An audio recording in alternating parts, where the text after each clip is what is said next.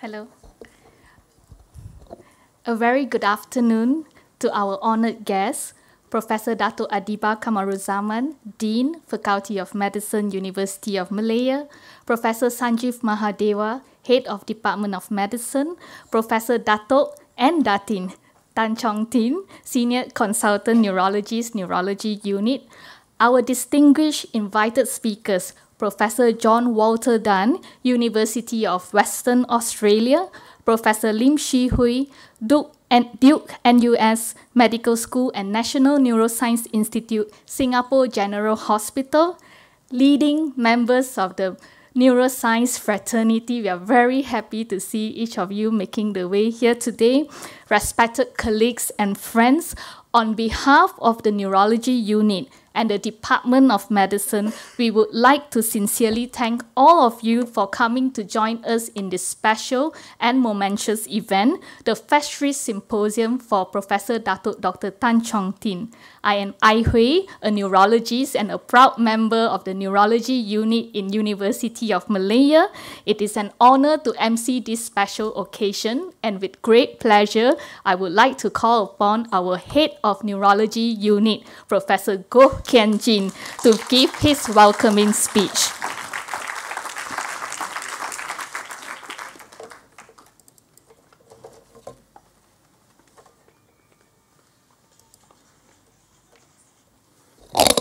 Welcome, friends, ladies and gentlemen.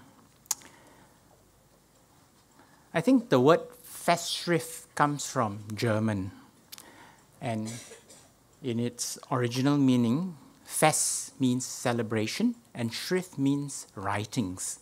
So, in actual fact, the meaning of Festschrift is a collection of writings in the honor of a scholar. So, we are here today to honor a distinguished and uh, the achievements and contributions of such a person, Professor C.T. Tan.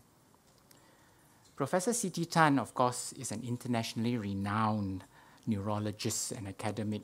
His contributions to the fields of neurology are many and varied, and his name is, in fact, synonymous with Asian neurology. However, we take Professor Tan as our own, and we honor him for his many contributions in medicine to neurology, uh, in this country, Malaysia. And of course, especially in this particular institution, the University of Malaya. So, Professor Tan is probably one of the few who have witnessed the transformation of our institution from this to this, and the growth of which, in no small part, he personally contributed. So, this afternoon, we celebrate a true icon of the university. Welcome, everyone.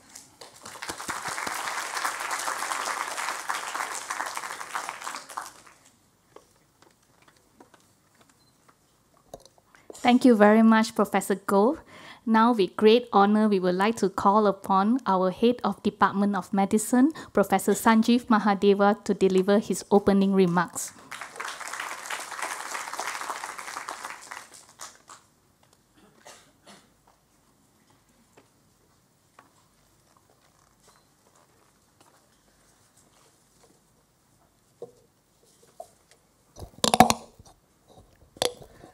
Thank you, Madam MC, uh, Dr. Tan Ai Hui.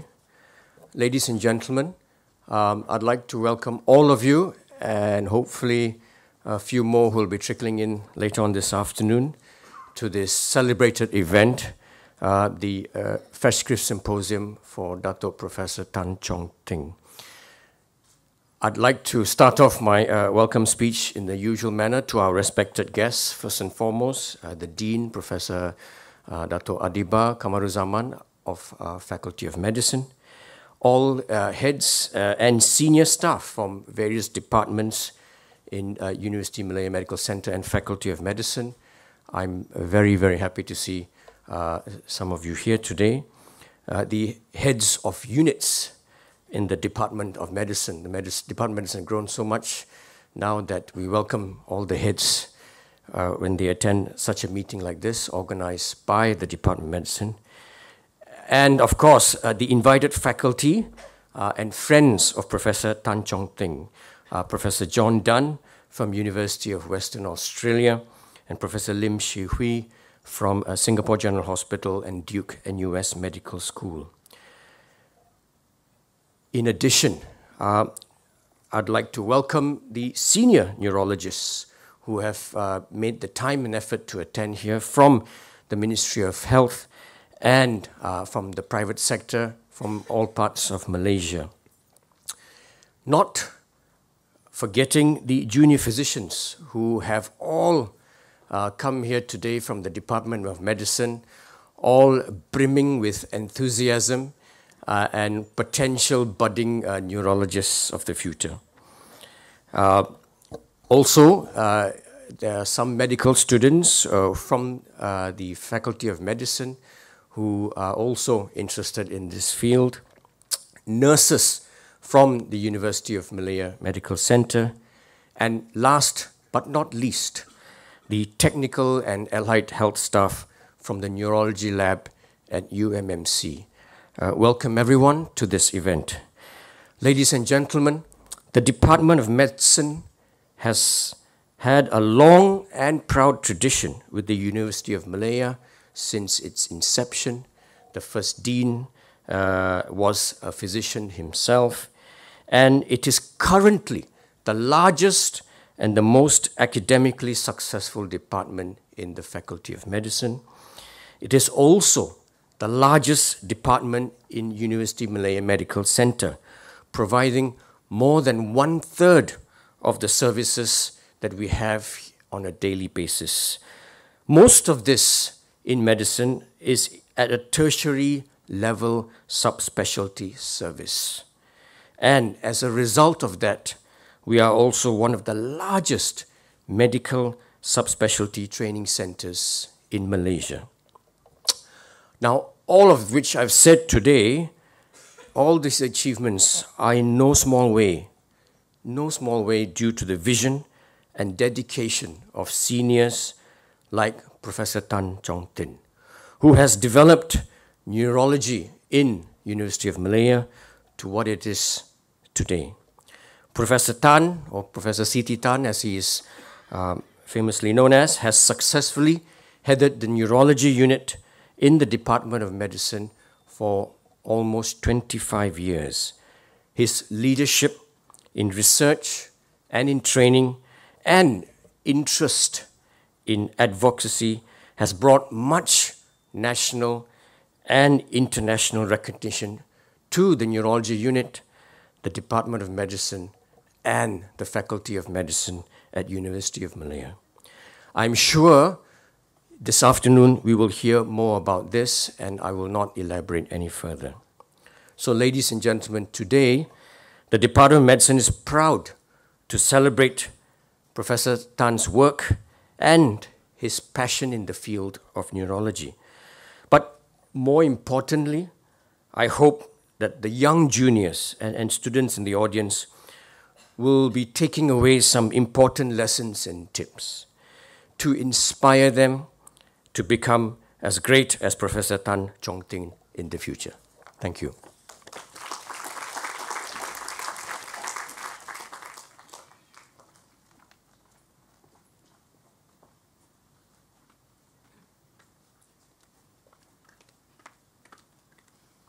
Thank you very much, Professor Sanjeev. Now, with great pleasure, we would like to call upon our Dean from Faculty of Medicine, Professor Adeeba, to deliver her speech.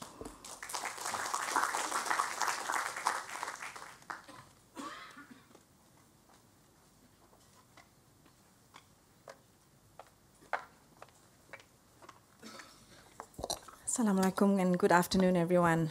Prof. Tan and, and Datin Tan, um, Professor John Dunn and Professor Lim Shihui, our um, invited guests for this afternoon, um, heads of departments, and uh, ladies and gentlemen.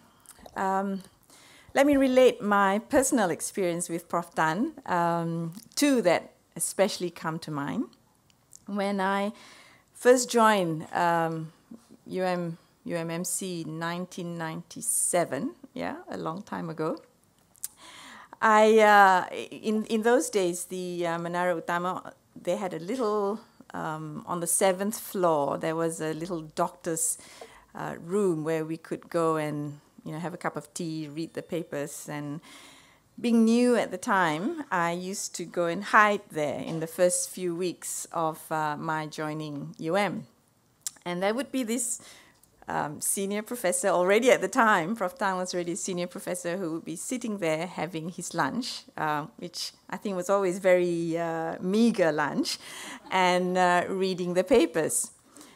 I think after about a week or so, I finally gathered the courage to say, um, uh, hello, I'm I'm Adeeba. I'm new to the uh, Department of Medicine. Um, you know, I'm an infectious diseases physician. And this gentleman looked up and said, I'm Prof. Tan. I know who you are. I interviewed you. I felt so embarrassed, uh, but that was how we met uh, for the second time. And then, of course, I had the uh, opportunity to work uh, with Prof. Tan very, very closely during the Nipah outbreak. And uh, during that time, uh, I think I saw and learned um, what it meant to be a, a leader um, and, and, and, someone who um, was completely uh, dedicated and compassionate um, uh, to the, the, the, the, every individual patient's needs. Um, we were, if you recall, some of you who lived through that outbreak um, were going through uh, pretty unprecedented um, event uh, and in, in, a, in a life of a, of a doctor, of a physician. I was actually pregnant at the time. And every day I went home, you know, we were faced with this, this disease where people were literally, uh, you know, dying in front of our eyes. And um, so every time, every day I went home, I was describing this to my husband, and he would say, you know, it's not too late to be a cardiologist. because I, I, was telling him, look, we've got all these people with this disease. We have no idea what it's due to. Um, I have no idea whether, you know, we could all be infected from it or not. Um, my husband, who's not a doctor, said, I told you cardiology or gastro was the way to go.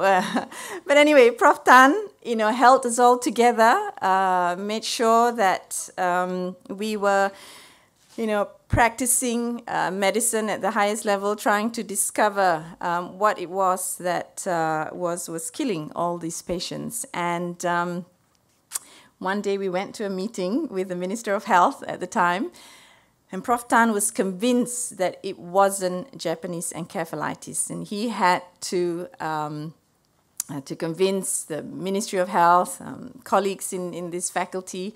And, and this was before we discovered the virus. And, uh, you know, there was a lot of, of discussion and toing and froing. And, um, and I remember Prof. Tan uh, not arguing, but uh, convincing the Minister of Health um, that we had to kill the pigs after we discovered the, the virus, we, the royal we, after uh, Chua Kaw Bing uh, and team discovered the virus on Prof. Tan's insistence that this was not Japanese encephalitis, that this was another disease that, that what we were seeing, you know, this, this is a mark of a true clinician uh, and a true um, uh, yeah, a true, a true great clinician that he was convinced this was not Japanese encephalitis because it didn't fit the picture of Japanese encephalitis and pursued that and pursued that until um, uh, Prof. Chua discovered the virus and then also pursued um, and, and, and went and convinced the Minister of Health that unless we shoot those pigs, we will not bring the virus under control. Um, and, and I was there to witness this, how he made this convincing argument uh, with the minister saying, but this is a $2 billion industry. We're going to decimate um, the industry. And Prof. Tan held his ground and said, you have to kill the pigs. And killed the pig we did, pigs we did, and uh, which, as you all know, brought the, um, uh, the, the, the epidemic and outbreak under control. And I think, you know, in, in one sense, although I had my husband saying, you know, give up infectious diseases, become a cardiologist, um, but it was through having uh, the opportunity to work with with Prof. Tan, even though we were all, you know, in, in a sense, thought we, we were putting ourselves at risk, um, you know, that, that kind of convinced me that um, we were all doing the right thing. Um, having watched him in action, um, in a sense, without over dramatizing it, um, saving the nation. Because uh, for those of you who were involved in, in the Nipah outbreak, we were literally seeing people, you know, dying in front of our very eyes. As uh, Sanjeev alluded to, that wasn't the only claim to fame for Prof. Tan. I think, um, you know, for any faculty, for any institution, um, the it's it's the the human capital is having um, someone uh, like Professor Tan is what makes uh, our faculty, what makes our department. I'm proudly a member of the Department of Medicine, as you know. Um, and with the competition that the faculty and, and the university faces, uh, you know, the, the, medical school faces with uh, the, the privatization of healthcare and the privatization of education in this country, we were losing and we still lose uh, a lot of senior and experienced people. But we are very fortunate to have someone like Prof. Tan uh, with us that anchors the faculty, you know, brings it prestige and uh, have people from all over the world wanting to train with him and with other colleagues in, um, in the Faculty of Medicine. So I wake up every morning thanking my lucky stars that I have um, you know, these big names like Prof. Tan and others to continue to uh, raise the flag of uh, Faculty of Medicine. As uh, Sanjeev alluded to, um, not only has Prof. Tan, not only is Prof. Tan synonymous with uh, Asian neurology and um, has really shaped what neurology is today in Malaysia, but he's also been instrumental in um, in attracting trainees from uh, countries around the region, from Myanmar, from um, Maldives, and, and, other places. Um, we, all of us, many of us in the room, have gained um, uh, knowledge and experience from going overseas, going to Australia, going to the UK. And I, and I, and I think Prof. Tan, like I, believe that now it's our turn to um, train uh, colleagues from around the region to, to uplift the standards of uh, health in countries around us. So that and many, many other contributions Prof. Tan has made to medicine and in particular to neurology, I think is a reason we're here to celebrate uh, you know, an eminent uh, physician, scientist, um, and educator. And uh, with that, I once again thank all of you for coming this afternoon to share in this celebration with us. Thank you.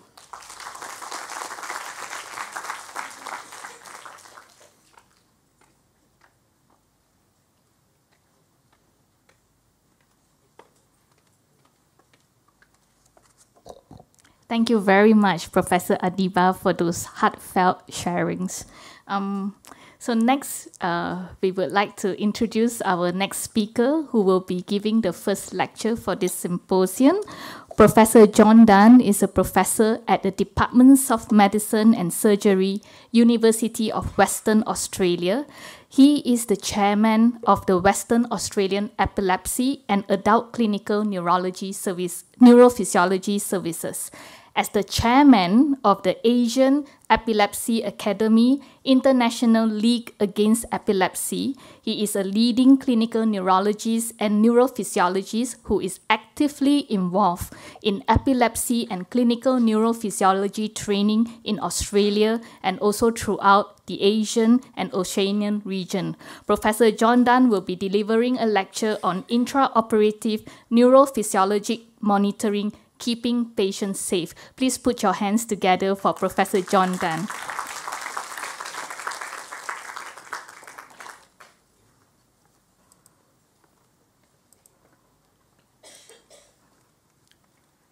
So, um, I'm going to be using my own, own computer, which is always a challenge. And while I'm setting it up, I'll have to say to you that I feel very fortunate to be here today at the University of Malaya because I'm surrounded by you, wonderful people who are contributing so much to the community whether it be in education, research, or clinical care. And so I feel very fortunate. And I also feel very fortunate that many years ago I met our colleague, Professor Tan Chong Tin. And once I get my computer going, I'm going to have to st- start my talk by giving some family photographs. Now, well, that's encouraging. I can see that some kind of screen is appearing. And, um, and yes, that's my presentation. And let's go for it. Bingo. And there is the University of Malaya, which I'm very happy to be at. And here is Professor Tan Chong Tin, seen here in 2007 with Lim Shi Wei. They're handsome guys. Over the many years that I've known Chong Tin, he has led me to countless places, sometimes on foot, we've walked very far, sometimes by boat, even on horseback. yes, that's Chong Tin with the arrow pointing to him. He's taken me to numerous medical centres and clinics throughout our region and into many countries. We've walked in open fields. We've walked into the desert. We've walked into places of extreme cold, ice, and snow. Yes, and that's Chong Tin with the arrow pointed to him. We've walked in the jungles. And here's Chong Tin looking particularly stylish with his botanical hat on. We've crossed bridges even unsteady ones. We've climbed up mountains, and we've even been up into the clouds. And yes, that's Chong Tin who led me up this mountain in, into the mists. Now, I have followed Prof. Tan without question, like Lim Shi Wei and uh, Irene, his wonderful wife, seen here on the left, and so many of us. Why have I followed him without question? The reason is because we teach together and we serve the community of which we are a part of. The whole world flows when people work together. And we, of course, are a community of friends. And I've learnt so much from Chong Tin in life, we are sometimes blessed to meet a special person who inspires us. Professor Tan is an inspirational leader with a very generous heart. He has a passion to teach, as so many of us know, and a tireless capacity to give to others that shames me at least. And he is a great ambassador, not only for the University of Malaya, but for Malaysia itself in his contributions. But I have to say, nobody is perfect, not even Prof. Tan. And here are a couple of shots of us having various meals. And because I trust him so much, he takes advantage of this all of the time at the dinner table by making up the ingredients of what we're eating to shock me. Horse, dog, I don't know what. And he continues to do this and I continue to believe him. It's one of those things that I have to bear. So, now what about intraoperative monitoring? Now, for this story, we need to have a beginning monitoring nervous system fun- function during surgery. The first question we need to ask ourselves is why? And the answer is simple. We want to make surgery safer and more effective. And we can provide a little bit like to a pilot, a navigator. We can navigate where lesions may be and functional regions are. And in the process of surgery, we can monitor neural function to, present, to prevent damage occurring or at least alert the surgeon as to when damage has occurred. Now, in order to do this, monitoring needs to not only be safe and effective, but give the surgeons rapid and reliable feedback. And this means a very experienced and well trained team of technical, medical, and other staff, and very careful preparation before we get to the operating theatre, and attention to many details. And we don't want to interfere with the surgery. And by analogy, I regard myself as a part of the road crew of a concert, setting up for a rock band. You need to get the eh, circuits going, you need to get the PowerPoints working, you need to make sure the sound system is working. And that support crew in the operating theatre includes my dear friends, the anaesthetists, and the neuromonitoring team itself. And here I am with my mask on, plus Ron and my technician Robert.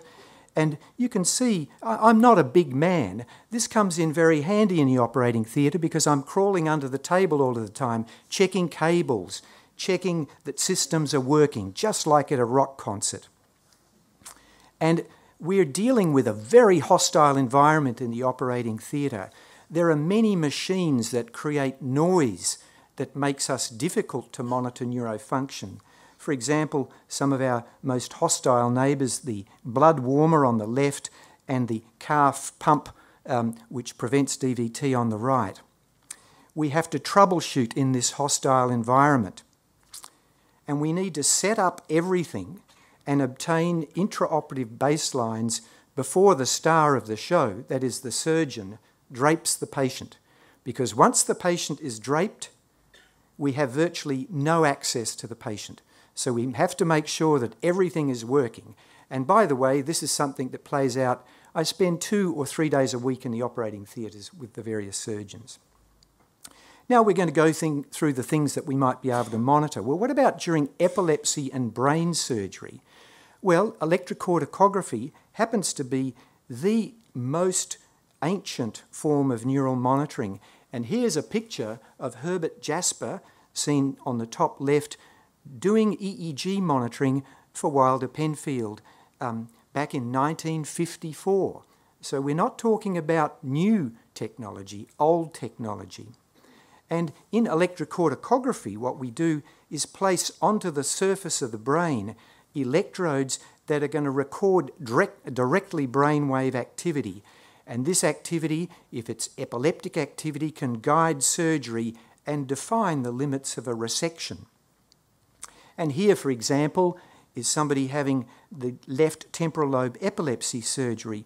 We place strips on the uh, surface of the temporal pole, and here, for those of you who are brainwave um, aficionados, there are spikes and polyspikes coming from the inferomesial temporal region, an area that we will need to target to remove.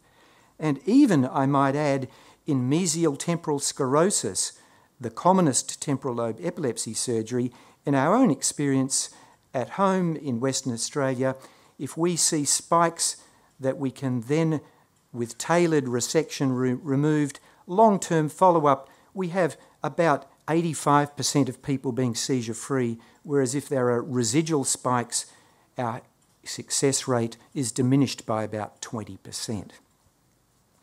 Now, reading brainwaves in the operating theatre is not for the faint hearted. You need to be considerable training and skill. Artifacts are very common.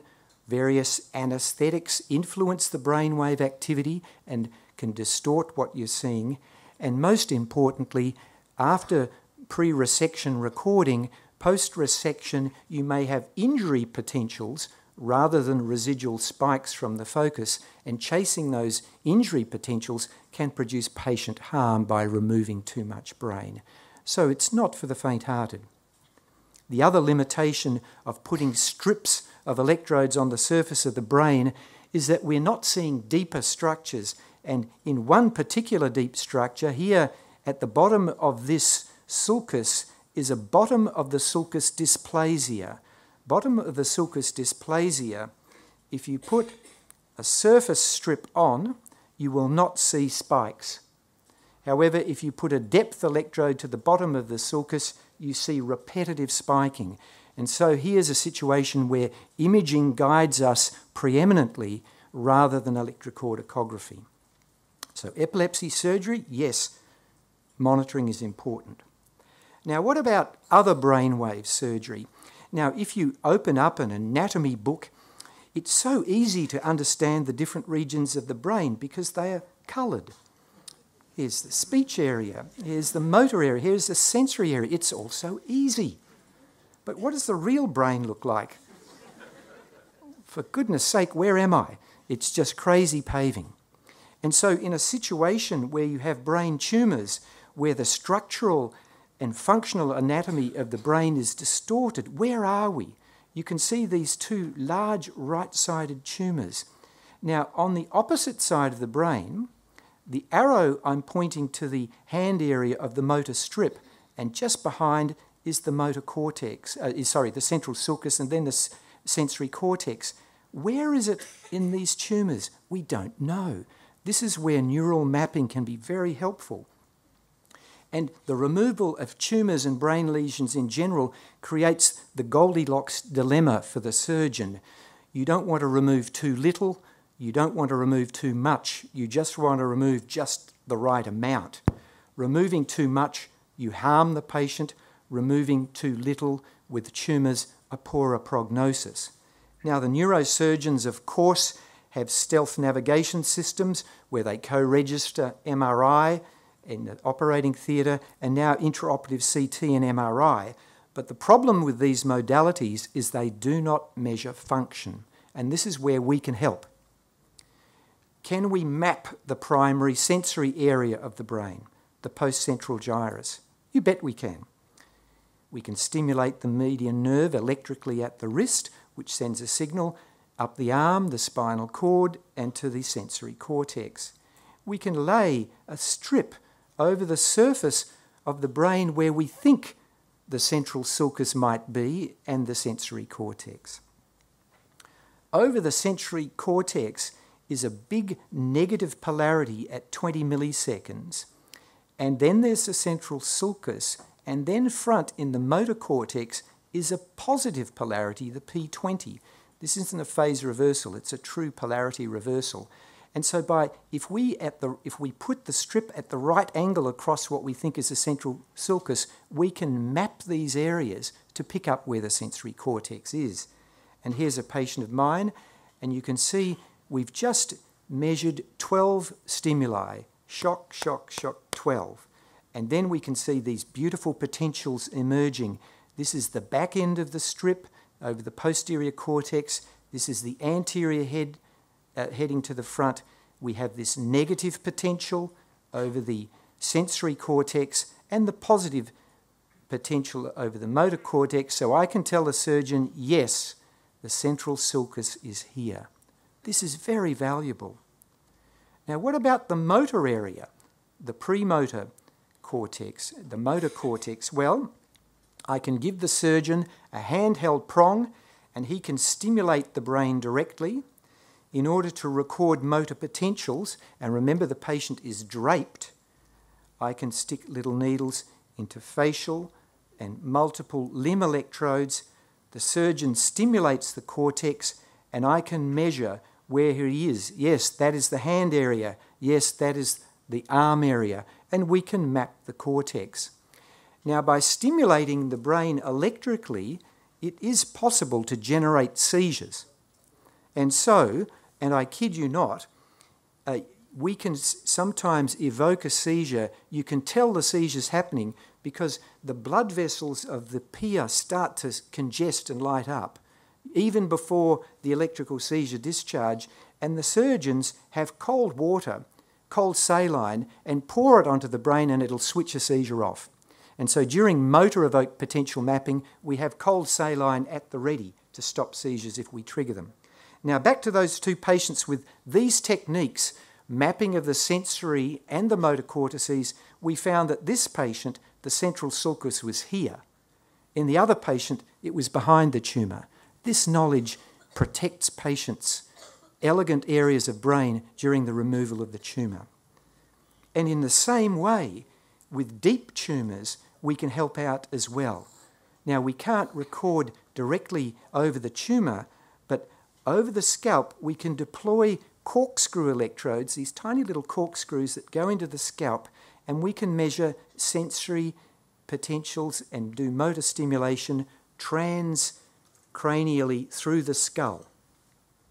So before these kind of patients, we put an array of electrodes into the scalp. This array electrodes is on the patient's scalp. We've put them in as the patient is ready to have the craniotomy. And from those electrodes, we can, if we stimulate the median nerve, we can measure the median somatosensory evoked potential. If we stimulate the tibial nerve on the appropriate side, we can measure the tibial somatosensory evoked potential. And if we produce a stimulus into these scalp corkscrew electrodes, enough current can penetrate the skull to stimulate the motor cortex. And here is a video, I hope, that'll work. Watch his arm. This is, boom. This is us stimulating his motor cortex through the skull as the, as the surgeon is draping. Now, during the surgery, as the person is operating on a deep tumour, we are measuring these motor evoked potentials of limb muscles, and we can alert the surgeon. And the surgeon, of course, his stealth imaging has allowed him to find where the tumour is, but that doesn't tell him whether he's damaging function or not. Our repetitive testing of motor evoked potentials will protect the patient from having unnecessary loss of function. In the same way, if we have tumours or surgery near language areas, we can map language. This is a little bit more crude. What happens is we do a craniotomy, wake the patient up. During wake craniotomy, the handheld stimulator, the surgeon stimulates cortex that he thinks might be the speech area. And the awake patient, we're showing a PowerPoint video, a PowerPoint slide showing CAT television and asking the patient to name these objects. And if we stimulate an area related to motor function, a speech arrest can occur. This is a little bit more brutal and less elegant than sensory and motor mapping, but very helpful. Now let's go to the posterior fossa, my favourite area to monitor. We, can we monitor hearing? You bet. We have a little clicker box that through a hollow tube goes to the hollow centre of an earplug covered in gold foil. We can stimulate the ear with this clicking sound. The gold foil in the external ear canal can actually pick up uh, brainstem auditory evoked potential when referenced to CZ. And so this is the recording wire. And so for monitoring hearing, we put our clicker box and earplug into the ear, and we can monitor brainstem auditory evoked potentials. Here are right acoustic neuroma. Here is the left side not being operated on. The multiple waveforms remain normal throughout the procedure. The right side being operated on, not quite normal to begin with. Ultimately, a loss of all waveforms, and the surgeon, every step of the way, in this case, has uh, discovered what he's done to damage the acoustic nerve, but many other times we can preserve hearing. Facial spasm is another area which is a critical one that we can help the surgeons not only protect hearing, because as they retract the cerebellum to look at the facial nerve, it can damage hearing, but to make surgery more effective. What we do is this we put needle electrodes into the forehead and eye muscles. We put needle electrodes into the chin. We then stimulate the zygomatic branch of the facial nerve. This sends a signal up the nerve to make the eye twitch. Nerves travel quite happily action potentials in both directions. So at the same time as stimulating the nerve and a signal going out to the eye muscle, another signal is going upstream towards the, the, the uh, nerve nucleus. This normally doesn't do anything, but with the short circuit of hemifacial spasm, what happens is this upgoing signal reaches the area of short circuit, jumps tracks, comes down, and inappropriately get a chin twitch called the lateral spread response. And here's the theatre set up to do this response. I've got the eye muscle needles in, the chin needles in, another couple of needles to stimulate the zygomatic branch, which is going to the eye. And by the way, in the same way, I can stimulate the mandibular branch of the facial nerve to get a lateral spread response in the other direction. And here is the facial nerve. And here is a blood vessel wrapped around it, causing the short circuit. And here's what the short circuit looks like. I'm stimulating the zygomatic branch of the facial nerve. I'm getting the expected eye twitch. Shortly thereafter, the unexpected and inappropriate chin twitch, the lateral spread response. Then what happens is the surgeon cleverly and gently peels away the blood vessel, and then in between the blood vessel and the nerve puts some Teflon wool, to insulate the nerve against the offending blood vessel. And if he does it right, that lateral spread response disappears, and this predicts successful surgery. And so, with measuring of the lateral spread responses, not only do we, do we make surgery more effective, but also much uh, we, the surgeon knows they're going to be effective or knows they're going to fail before the patient wakes up. And we also measure brainstem function. Now, what about spinal surgery? Spinal surgery, I spend at least one day a week with the surgeons. And we all know that healthy young people, particularly healthy young girls, can have idiopathic scoliosis with quite deforming curves that need to be corrected. And um, there are long term issues with back pain if people with uh, uh, severe scoliosis don't have corrected surgery. And the result can be spectacular uh, in every way. However, the bad news is that healthy young girl, if she becomes paraplegic, having walked into the uh, hospital, it's an absolute disaster. And this is the most scary part of spinal surgery and the surgeons. Am I going to make this patient paraplegic?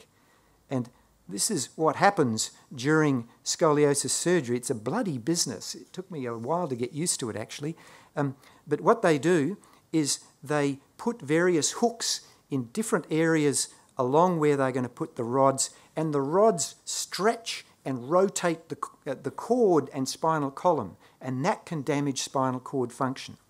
So we need to keep that spinal cord safe and alert the surgeon to something that's going wrong. We do this at least once a week. We other, do other surgeries too where the spinal cord is at risk. And I thought I'd show you this one, which is the last patient I monitored just between Christmas and New Year. Some of you who understand spinal anatomy may notice it. For God's sake, what's happening here? This is a 14 year old boy. He has a Klippel-Feil congenital abnormality of his upper cervical vertebrae, which are critically squashing his cervicomedullary junction. Really scary. And in fact, I saw him just a couple of weeks ago before the surgery, and he'd been told by the surgeon to stop playing basketball for very good reason. For goodness sake. What did the surgeons do? Transorally, they went in and removed the upper cervical bodies, basically destabilizing the. And then, in a second stage procedure, which did just before the new year, then putting in uh, a, a plate onto the skull and then to so fixate so his cord's not just floating in the breeze. Now, during both of these stages of the procedure, we need to keep the, the patient safe by reassuring the surgeon that yes, the patient's still okay. And how do we do this? With the same techniques that I've already described motor and sensory monitoring. And this makes surgery much, much safer, and the surgeons can feel less anxious about what they're doing as they say, Is everything going okay, John? Yep. Oh, good. I'll carry on. Get on with the business that I'm trained to do. For uh, uh, uh, scoliosis surgery, we stimulate the tibial nerves. Those nerves send a signal that's heading up past the um, popliteal fossa, then up the spinal cord. We put multiple monitors in to measure the signal as it passes the cervical spine. A needle put onto the cervical lamina. Ear electrodes, nasopharyngeal and esophageal electrodes and then finally, on the journey from the foot right up to the scalp, multiple scalp electrodes. And all of this somatosensory monitoring of the lower and upper limb, if appropriate, is all checked out before the surgeon drapes. And this is what we want to see. Here is the journey stimulate the tibial nerve. Here it is passing the tibial uh, uh, uh, popliteal fossa. Here's the esophageal electrode, the ear electrode, the nasopharyngeal and neck electrodes, and two scalp electrodes. We've got multiple channels for security because if one of them fails during the surgery, we have a fail safe so that we can fall back. Somatosensory monitoring, essential. Motor evoked potentials, also essential in combination. And we, a little bit like I mentioned with the deep tumours, we put an array of electrodes on the scalp where we can, with an electrical train of stimuli, stimulate with a little bit of current that goes through to the skull to stimulate the motor cortex. And here's a patient, we're stimulating the scalp. You'll see the ear twitching a little bit.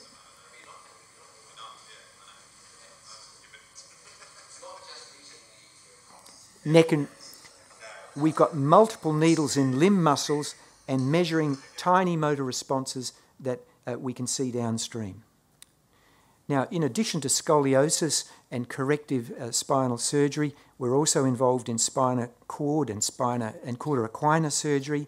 We use somatosensory evoked potentials, lower and upper limb, depending on the level of the surgery, motor evoked potentials using that transcranial stimulation that I've described, but in addition, direct spinal cord or nerve root stimulation if that's what the surgeon needs, as well as real time EMG.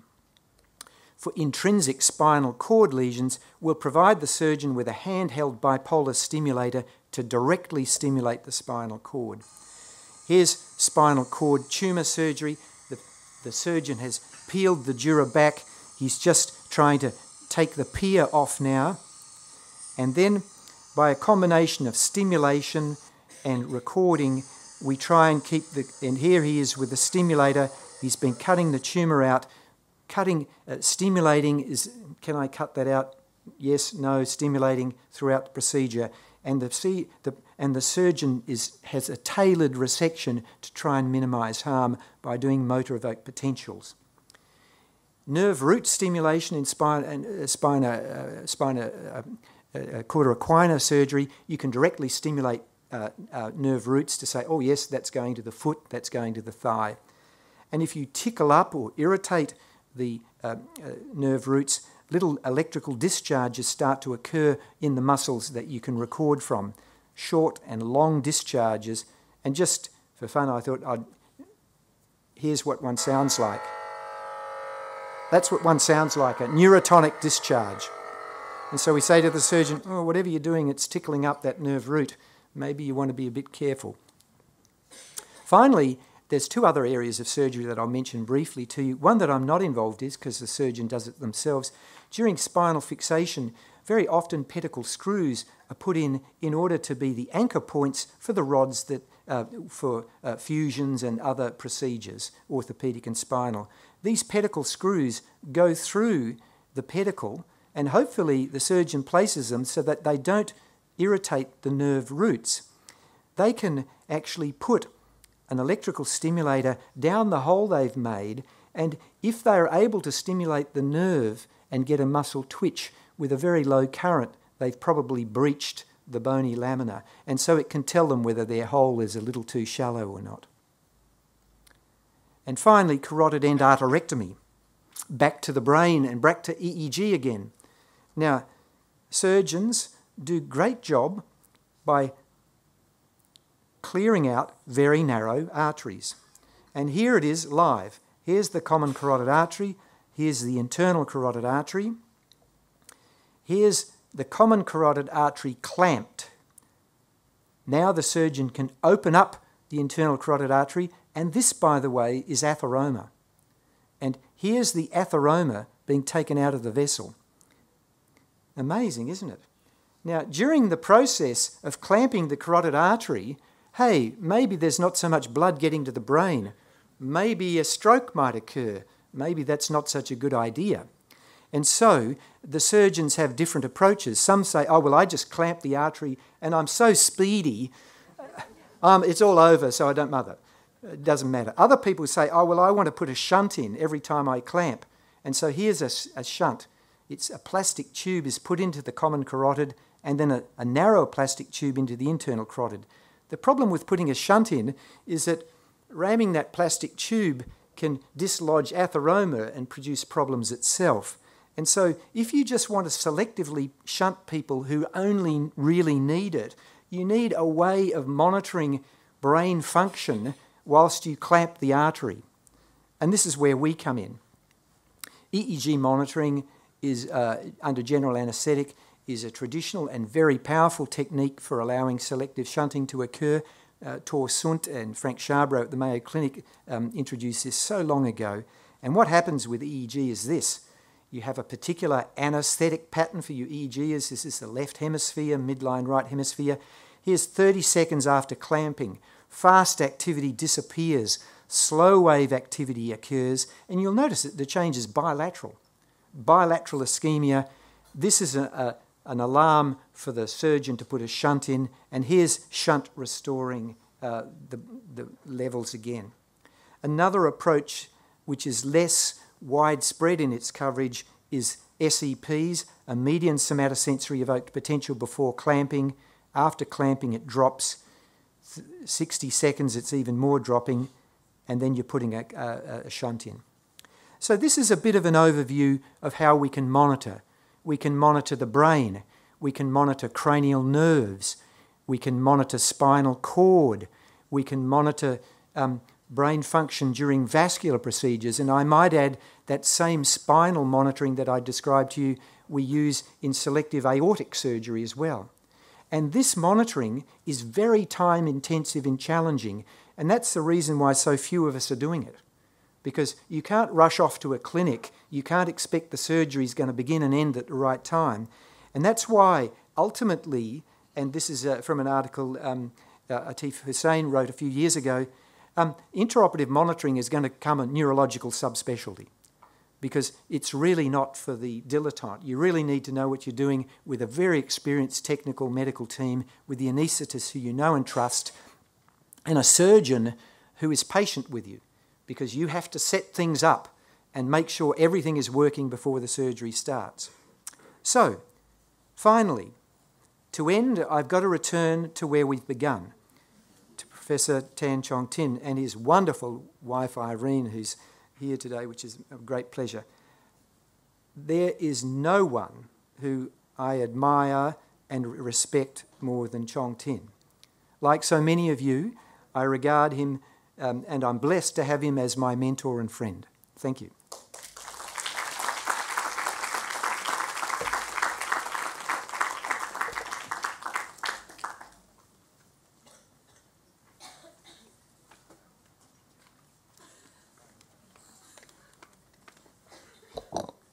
Thank you very much, Professor John Dunn. Now we would like to move on to our second lecture by Professor Lim Shih Hui. Let me briefly introduce him. He is the Professor and Senior Associate Dean, Department of Academic Development, Office of Academic and Clinical Development at the Duke NUS Medical School, and the Senior Consultant Neurologist at the National Neuroscience Institute and Singapore General Hospital. He was the founding president of the College of Physicians Singapore and the master of the Academy of Medicine Singapore. He was the chairman and the president of the I didn't realize you're next to me. um, okay, I'll, carry on, Prof. Sorry. okay. He was the chairman and the president of the ASEAN Neurological Association, ASNA. He was also the chairman of the Commission on Asian Oceanians Affairs of the International League Against uh, epilepsy and the Asian Epilepsy Academy, where he initiated an EEG certification examination in Asia in 2005 for his outstanding contributions and exemplary dedication towards medical education and training in Singapore and throughout the region. He received the National Outstanding Clinical, Clinician Educator Award in 2015. Please welcome Professor Lim. Sorry, I didn't know that whatever submitted all read out. I thought it would be like summarized again. Uh, I'm really honored to be here, um, to be here to celebrate with uh, Chong Tin. I first knew him in 1993. Uh, I met him in Vancouver, the World Congress on Neurology. I think during the exhibition, someone just walked in. I say, Who are you? he said, I'm from Singapore. So that's how we, we, we met each other, met in 1993. Um, and I think 25 years is not a, short time. Um, as you, we all know, we value a few things in life. We had to value our own body so that we can keep fit and uh, live a meaningful life. We need to value our family. And the third thing we need to value is friendship. So I think I'm very glad to have Chong Tin as a friend um, and continue for almost 25 years. So I thought maybe I would just go through some of, his, uh, some of the old photos we have managed to find. If I knew that, um, because when he told me about this and I haven't really have time to actually search my database, and um, but I managed to find some. You see how young he was. young and handsome. I think that was a word. Uh, actually, he's still young. He's still young. The, the age is only a digit, and uh, he, he's actually uh, 30 years old, right? With 40 years of experience. That's why he's. okay, so I've, this I managed to find the 1996 photo. This is the first uh, ASEAN Epilepsy Conference in Singapore. Um, then a year later, we have uh, our second biennial convention of the uh, ASEAN Neurological Association. So, uh, good time. Uh, and you see, the 1997 jumped to 2002. I think at the time, I was probably having hard copies of the photo. Um, then after we have uh, SD card. So I think all these were uh, stored somewhere, but managed to find some. So 2002, this is in uh, Ulaanbaatar. Then to Bandung, um, I think that was where, yeah, we started a series of uh, uh, uh, educational courses uh, under the name of ASEPA, which is came a year later. Four different photos in 2004. I think this is during the AOEC. We have a commission. So Chong Tin is the second uh, chair of the Asian Oceania, uh, uh, the Commission of Asian Oceania Affair, and also the second chair of the Asian Epilepsy Academy. Then we have other uh, adventure. Okay, so maybe the first one is 2004 in Beijing. Yeah, uh, this and uh, Professor Seino was the first uh, uh, chair of the commission as well as uh, ASEPA. Uh, Irene was there, uh, and this is Vian Vian Tian. Oh, I realized that uh, a lot of times uh, Chong Tin took more photos on me than I took for him. Uh, maybe that's why I couldn't find some of them. Uh, so Chong Tin doesn't carry a camera. He doesn't carry a phone. So I was the operator. Sometimes if he need to be contacted, so I will be contacted. Uh, and he's my cameraman, so we went everywhere. Uh, except when Irene was around, so I, I could stand there and uh, have a photo with him. So this was in uh, uh, Laos uh, and Kunming. So Kunming, you saw the, the stone garden, which is here. Really nice place. Um, and so we have gone round. Ah, so this is unique because I think uh, I only found one photo, and the whole photo was you. I think he took my photo, I took his photo, so that's why we are not together.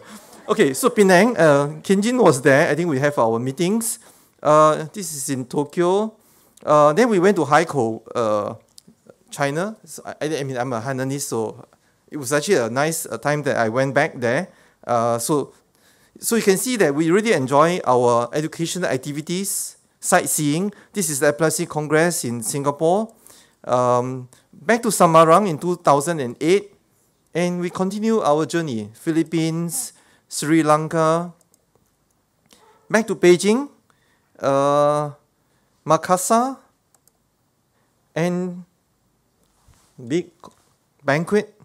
Uh, Chong Tin is somewhere here. As you can see, John Dunn's pictures start to appear. So that's him, that's him, that's him. And I think, yeah, the photographer was John Dunn, so this is why he was not there. this is in Chongqing. Uh, and uh, all, we all came down to Singapore. We had a retreat. Uh, so this is uh, Garden by the Bay.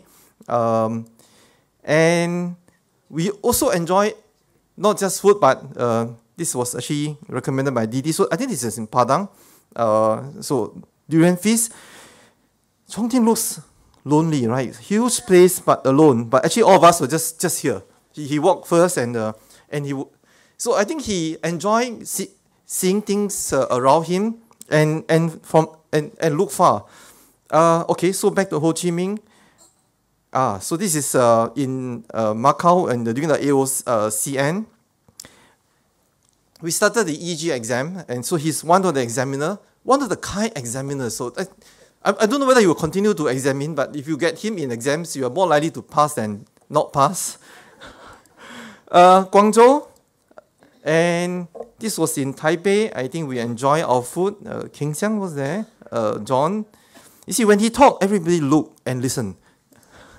Okay, so back 2017, uh, which is actually just a month ago. So as you can see, John, uh, Chong Tin, and I uh, have been traveling together. So you see three of our photos um, more frequently now. Actually, this is this morning. so he dragged us to the Batu Cave, and uh, so we climbed all the way. We went to the dark side of the cave, and we say, "What if we can't see?" He, uh, John said he doesn't really know the place, but he know how to describe the place, even he doesn't know.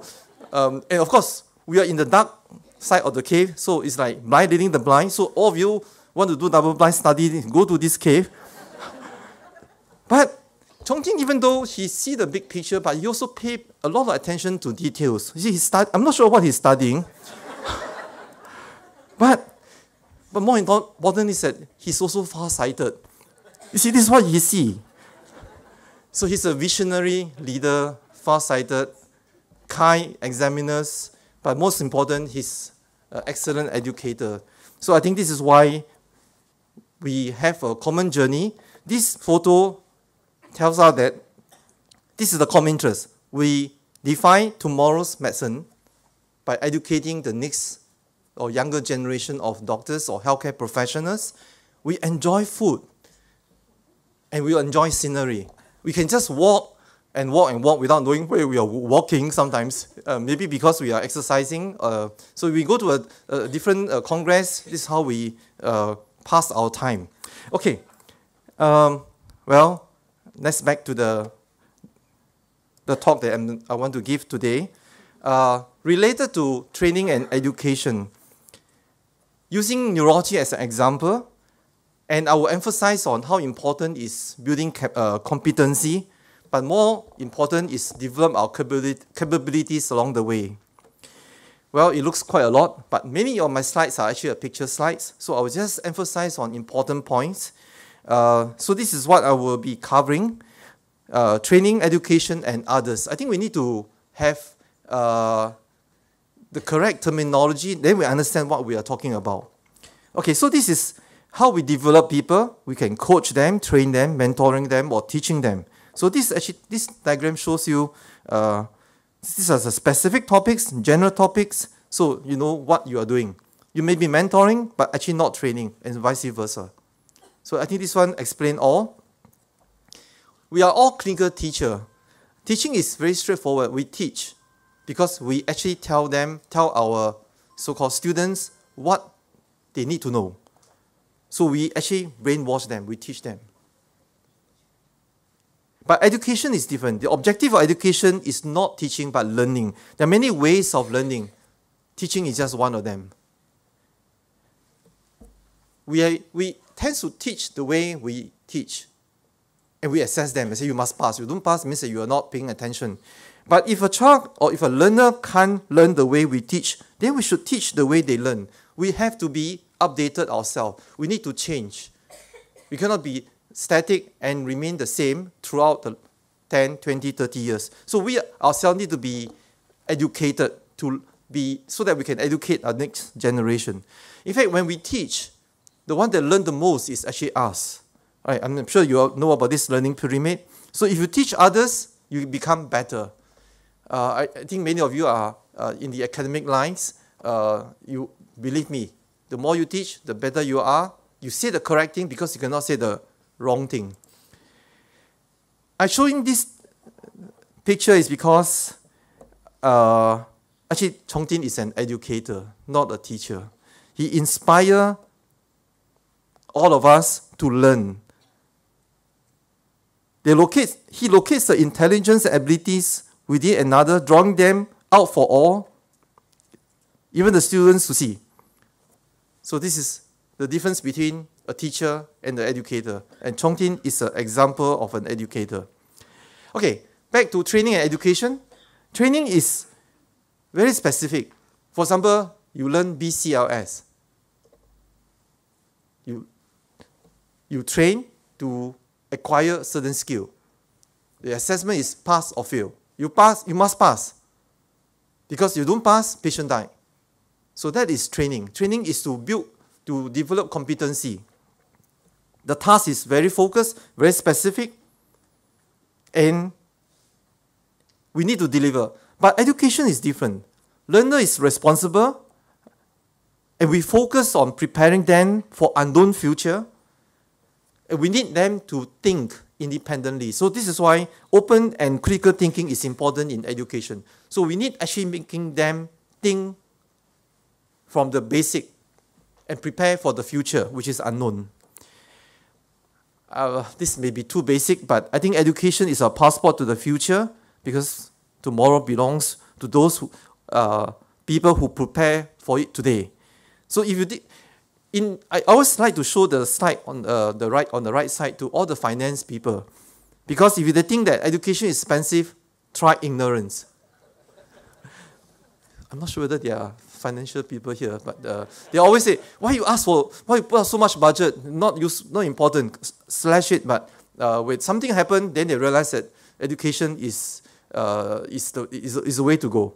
Okay, so health professional education is a bridge to quality. Uh, quality means patient safety. So if if we don't learn, patient will die in front of us. So I think this, and over the years we have changed uh, from a uh, the old-style structure process education to a competency-based uh, health professional education, which I'll elaborate. Okay, so now what is, I'll touch on what is competency and competency-based education. Competence refers to a person's ability or skills uh, that we possess to do a certain task. Whereas competency refers to, uh, of a job refers to a description how things has to be done at what level. So competence uh, or competency is an observable ability uh, that integrates and combines multiple components, right, which include knowledge, skills, attitudes.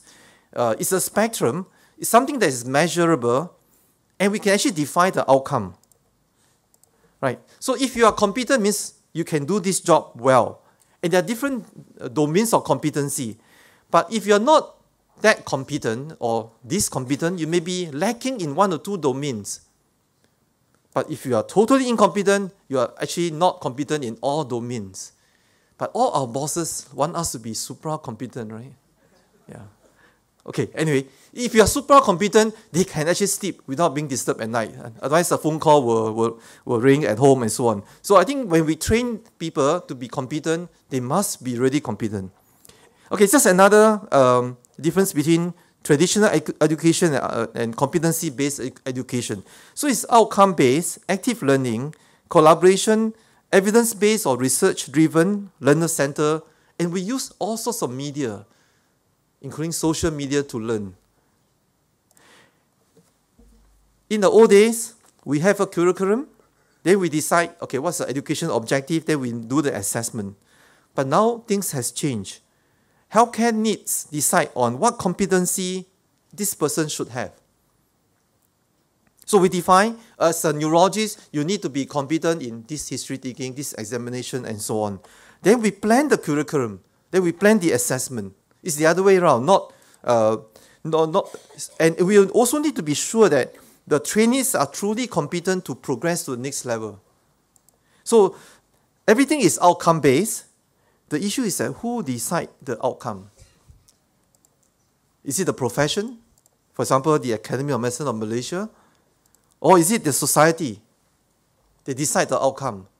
Who decide the neurologist to be must be this, or is it someone from outside uh, our society or country, like in a regional organization or in an international organization?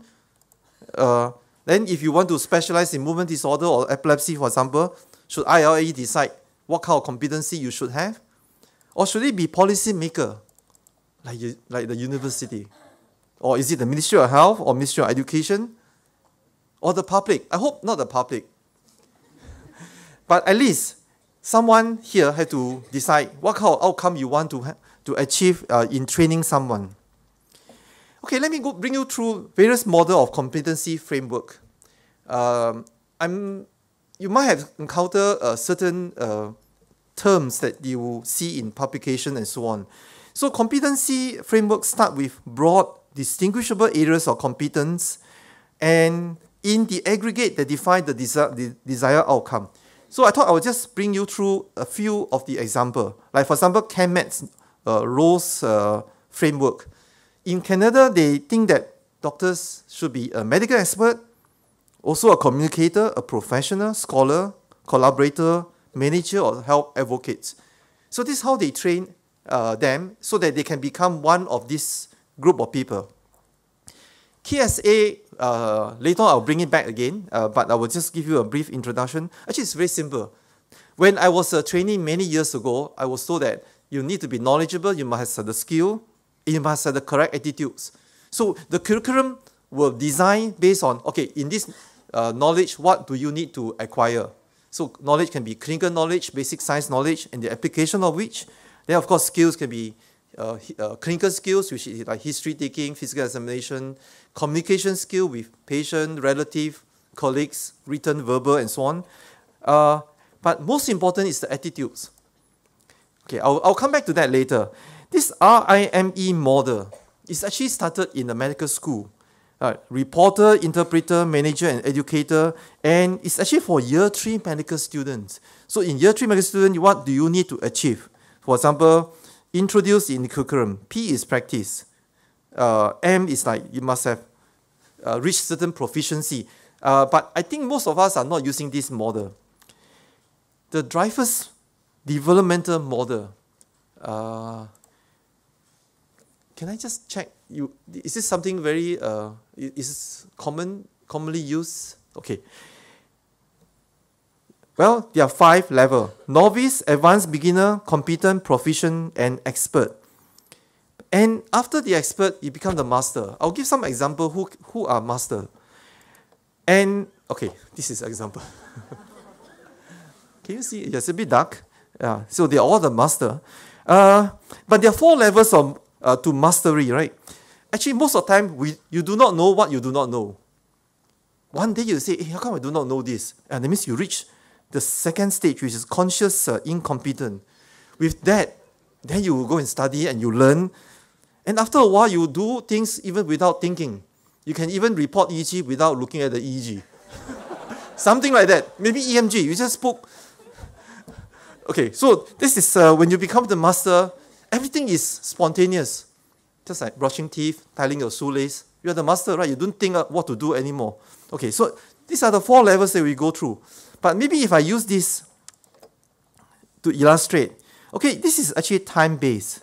Uh, our training may be three to eight years. Um, then after post training phase, and competency equal to patient safety. So you must draw this line. This is an important line. So when we start training, right? Let's say we reach here, we're supposed to be competent because competent equal to patient safety. But actually, most of the time, it's actually lower. Uh, so even you become a consultant or whatever, you continue to learn. That's where you reach. But actually, very easy from competent to become discompetent if you do not continue. Let's say if you are a general neurologist and I pursue my uh, subspecialty training, which is epilepsy and, and, and my other field, maybe movement disorder, stroke, start to deteriorate. Yeah, you, you can be a general nephrologist. You concentrate on just kidney, then the rest. Yeah, so I'm just giving uh, this example. People say, no, the hand surgeon, they specialize in index finger. No, no, kind yeah. But we need to continue to learn from competent to proficient. And sometimes we need the support, maybe the university or MOH or maybe society. Perhaps maybe this cartoon will show you what is novice? This Kung Fu fighter, uh, Kung, Kung, Fu, Kung Fu Panda. So this is novice, but advanced beginner. So he start to actually learn without knowing that he's actually balancing himself fairly well while eating. But to be competent, because if, you, if you're not competent, you'll be killed by the enemy. But if you want to lead a team, you need to be proficient or reach the expert. So I hope, I hope this one actually give you some idea what is. Uh, so if you are just one person doing the work, it's okay to be competent. To lead a team, you need to be proficient or expert. And of course, one day you become the master, like Chong Tin. so you understand, right? Yeah, so he's the master. He is the true master. Okay. Uh, the other other framework, ACGME, ABMS, this is something that we are doing uh, in Singapore. So we have uh, patient care, medical knowledge, practice-based learning improvement, all these things. Uh, and American Board of Medical Specialists also have the similar six domain of competency. There are others. I think I'll just, uh, I thought this one is important because the Association of American Medical Colleges define 150 types of competency. They group them, short list 58, and put them into eight domains. It's called the Physician Competency Reference Set. The first six are the ones that used in ACGME, but the seven and the eight, I don't know why it was not included.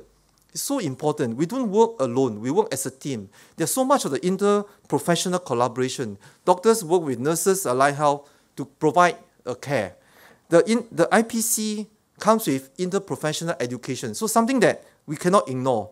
But as a professional, we need to continue to develop ourselves. This is what I call the personal and professional development. So for example, like education, I need to go for faculty development in education, learn how to teach. Uh, so the PPD is important. And the last part is uh, combining all different types of, uh, I, I don't think I want to go through this. Let me just move on. Uh, building competency, identifying the outcome. Actually, there are three components, which is what you see here. Uh, actually, there's a fourth one, which is actually the quality assurance part. We need to conduct certain uh, QI uh, project to see whether the program is actually doing well. But anyway, let me just go to the, so what are competent clinician? I think KSA model is the standard. We need to be knowledgeable, skillful, and must have the correct attitude. Knowledge is in the brain, skills is in the hand, but the attitude is in your heart. So you need all these three. Because if you do not have the values of behavior, it's actually very dangerous. Integrity without knowledge is weak, but knowledge without integrity is dangerous and dreadful.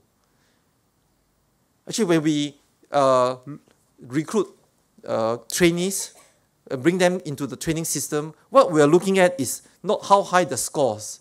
It can be in the dean's list or the A's, but these may be the problem uh, candidates because if we, we only know, we have to ask around, is this person a team player before we let them enter into a training program? So this could be the, um, uh, this is the importance of integrity. Uh, okay, so defining the performance level for each competency. I think this is what we are using called the milestones, which is telling us that at certain part of your training, what do you need to achieve? You must reach that level. Undergraduate only two, uh, which is the novice and also the performance uh, expected of a graduating doctor. But when it comes to graduate medical education, it's actually five, um, five levels, level one to five, and we want them to reach level four at least. And for example, yeah, depends. You see, when you assess someone, you cannot uh, compare year one with year three uh, trainees because they are at different level. So I think when we assess them, this, this is just to say that we have different level of expectation. Uh, and even the milestone must be must come with certain time frame. At six months, you must you should be able to do this. At nine months, at twelve months, and so on.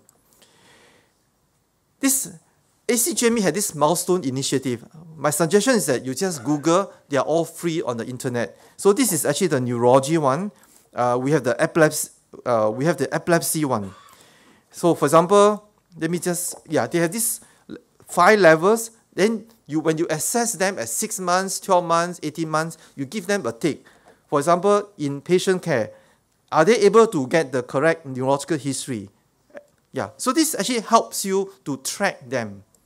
So in his in history taking, neurological examination, this is the epilepsy one, medical management, surgical management of epilepsy uh, patients, uh, emergent or critical care management like treatment of status epilepticus. If you are only here, you are year three trainee, I think you, a lot, you have a lot to catch up. So actually this one help. You, we can use this to guide our assessment. And even localization of the focus. Uh, for example, you must know your neurophysiology method, MRI methods, and so on, diagnostic investigation, classification of seizure. They're all on the internet. So I think this is very useful. And I think I'll just move on to the, the last part, which is, yeah, even the ethical part. So they cover almost every aspect uh, of the different domains of competency. So this one provides the learner with a clear path. There's no surprises. We'll tell the trainee, have you reached here? They, they can see themselves. Okay, so I need to reach there. And also formative feedback. There are other criticism which I think uh, I don't think I have time to go through it. There are also other challenges and so on. Okay, then there's also developing framework. There's such thing called assessment. There are many types of assessment like MCQs, uh, OSCE type. Uh, when you need to show your competency, you need to use OSCE. So you must use the correct assessment method. If you want, for example, like you have the patient care, record review, chart review, checklist. So I think education appears to be getting more and more complex. But if you really want to assess the competency of a, a particular learner, you may have no choice to use the correct tool. Okay, so medical knowledge, practice-based learning, uh, professionalism, what can you do to assess all these domains? There's another one, it's called the entrustable professional activities. Uh, I think I'll just skip this because this one just show you that work-based workplace-based assessment is essential. You may know everything in knowledge in exam setting, but in come to the real life, you need to see how they perform at the workplace. Okay, just a little bit uh, uh, overview of the neurology residency uh, uh, system in Singapore.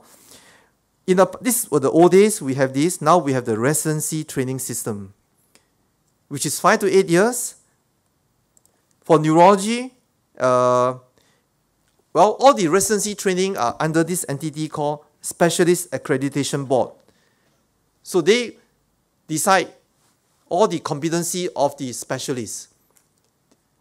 So whatever training we have, they monitor, uh, they track, and they give accreditation if you pass the exam. With the accreditation, then you can register yourself as a specialist. So residency program in Singapore is, a, is an institutional structure emphasize on a lot of learning, giving protected time for trainers, and there's a lot of regular formative assessment. And we work together, we engage the ACGME so that they have been in Singapore for the last five years.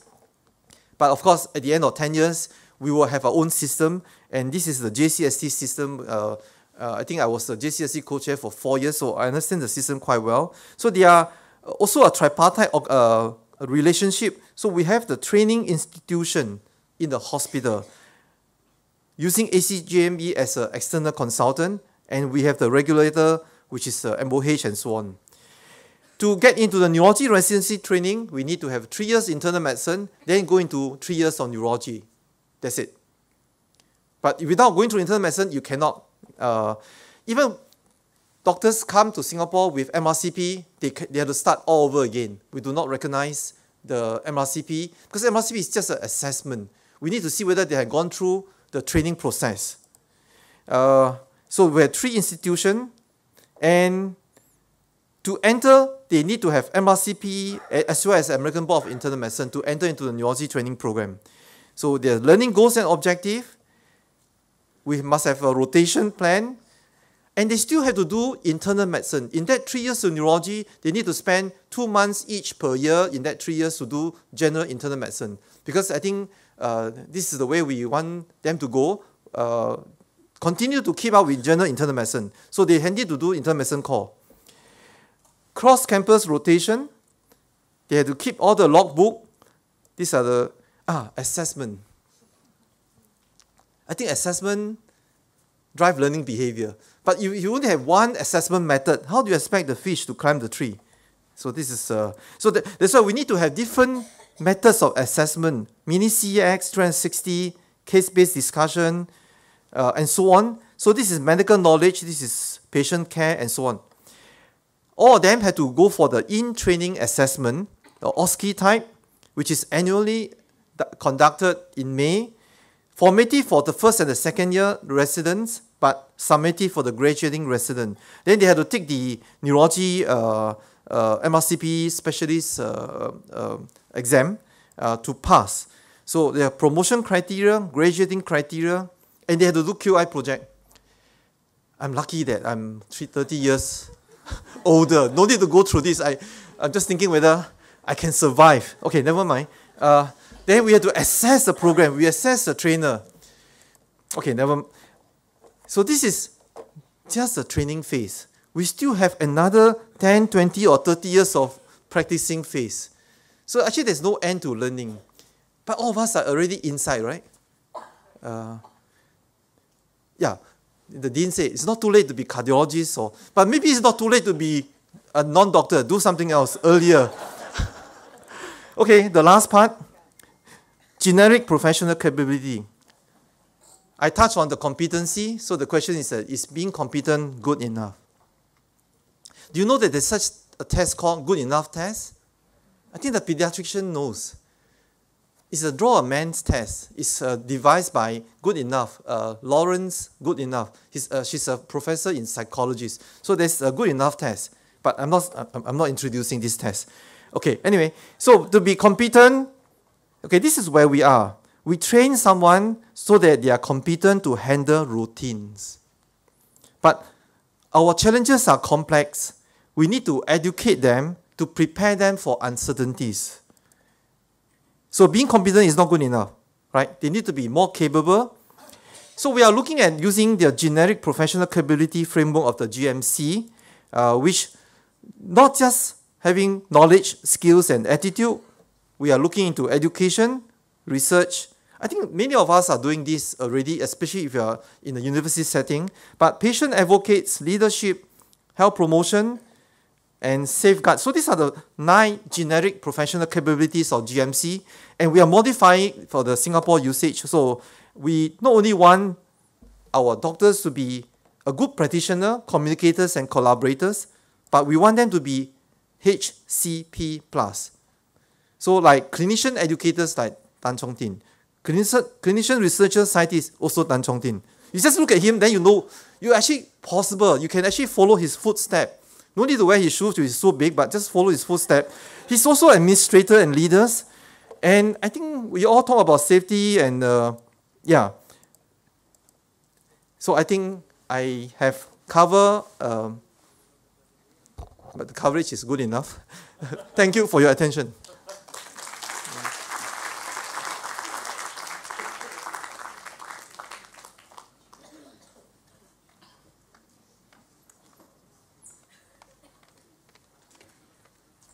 Thank you very much, Professor Lim Shih Hui.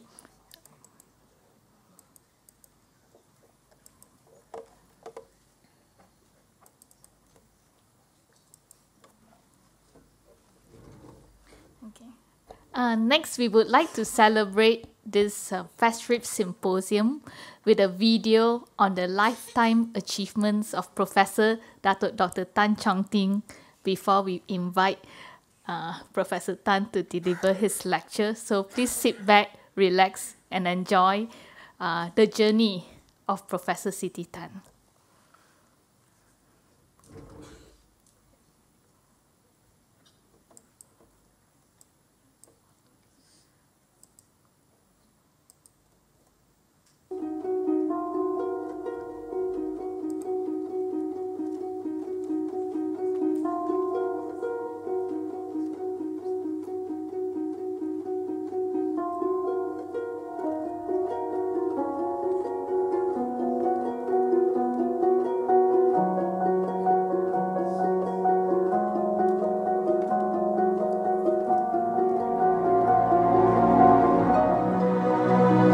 Professor Dr. Tan Chong Tin was born in Penang on October 27, 1948. He received his early education at Chung Ling High School and obtained his medical degree from University of Melbourne in 1972. He joined University of Malaya as a lecturer in 1977 and was awarded a Commonwealth Medical Fellowship to the Institute of Neurology, Queen Square, London in 1982.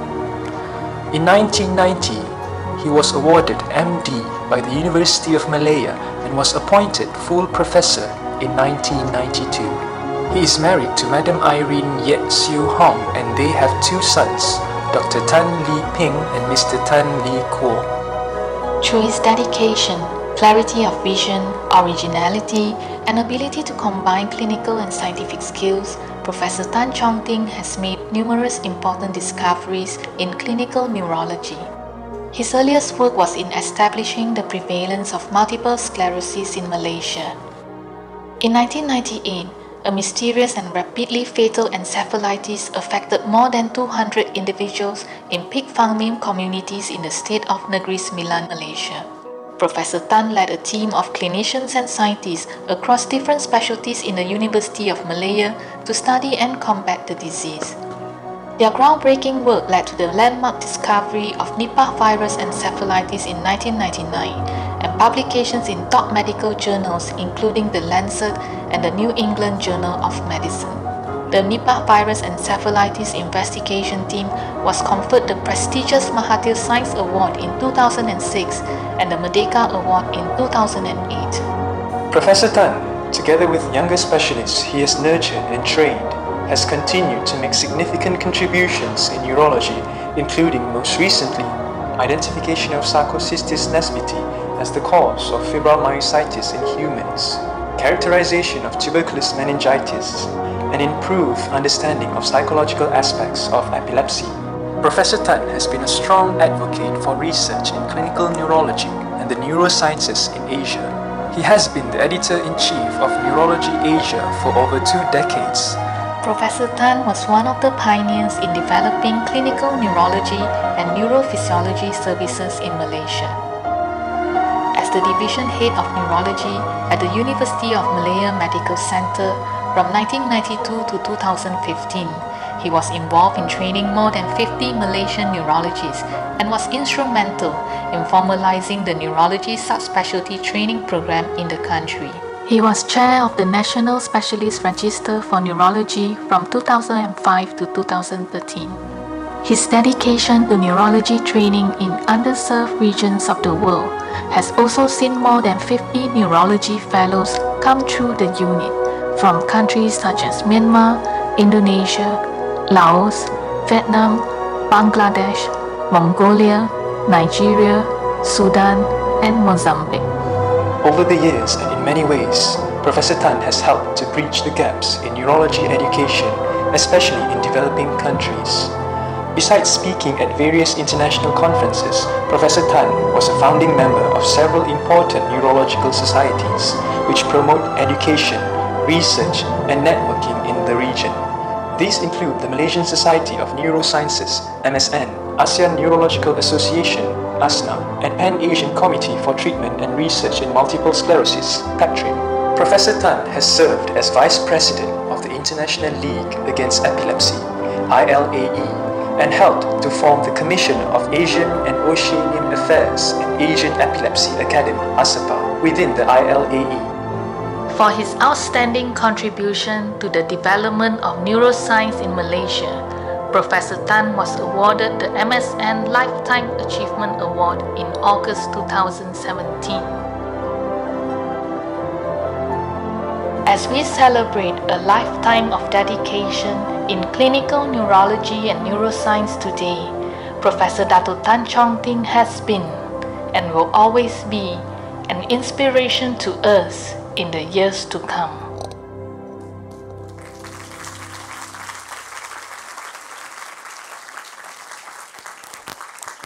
Ladies and gentlemen, let's put our hands together to welcome Professor Datuk Dr. Tan Chong Tin to deliver his lecture on Development of Neurology in the University of Malaya.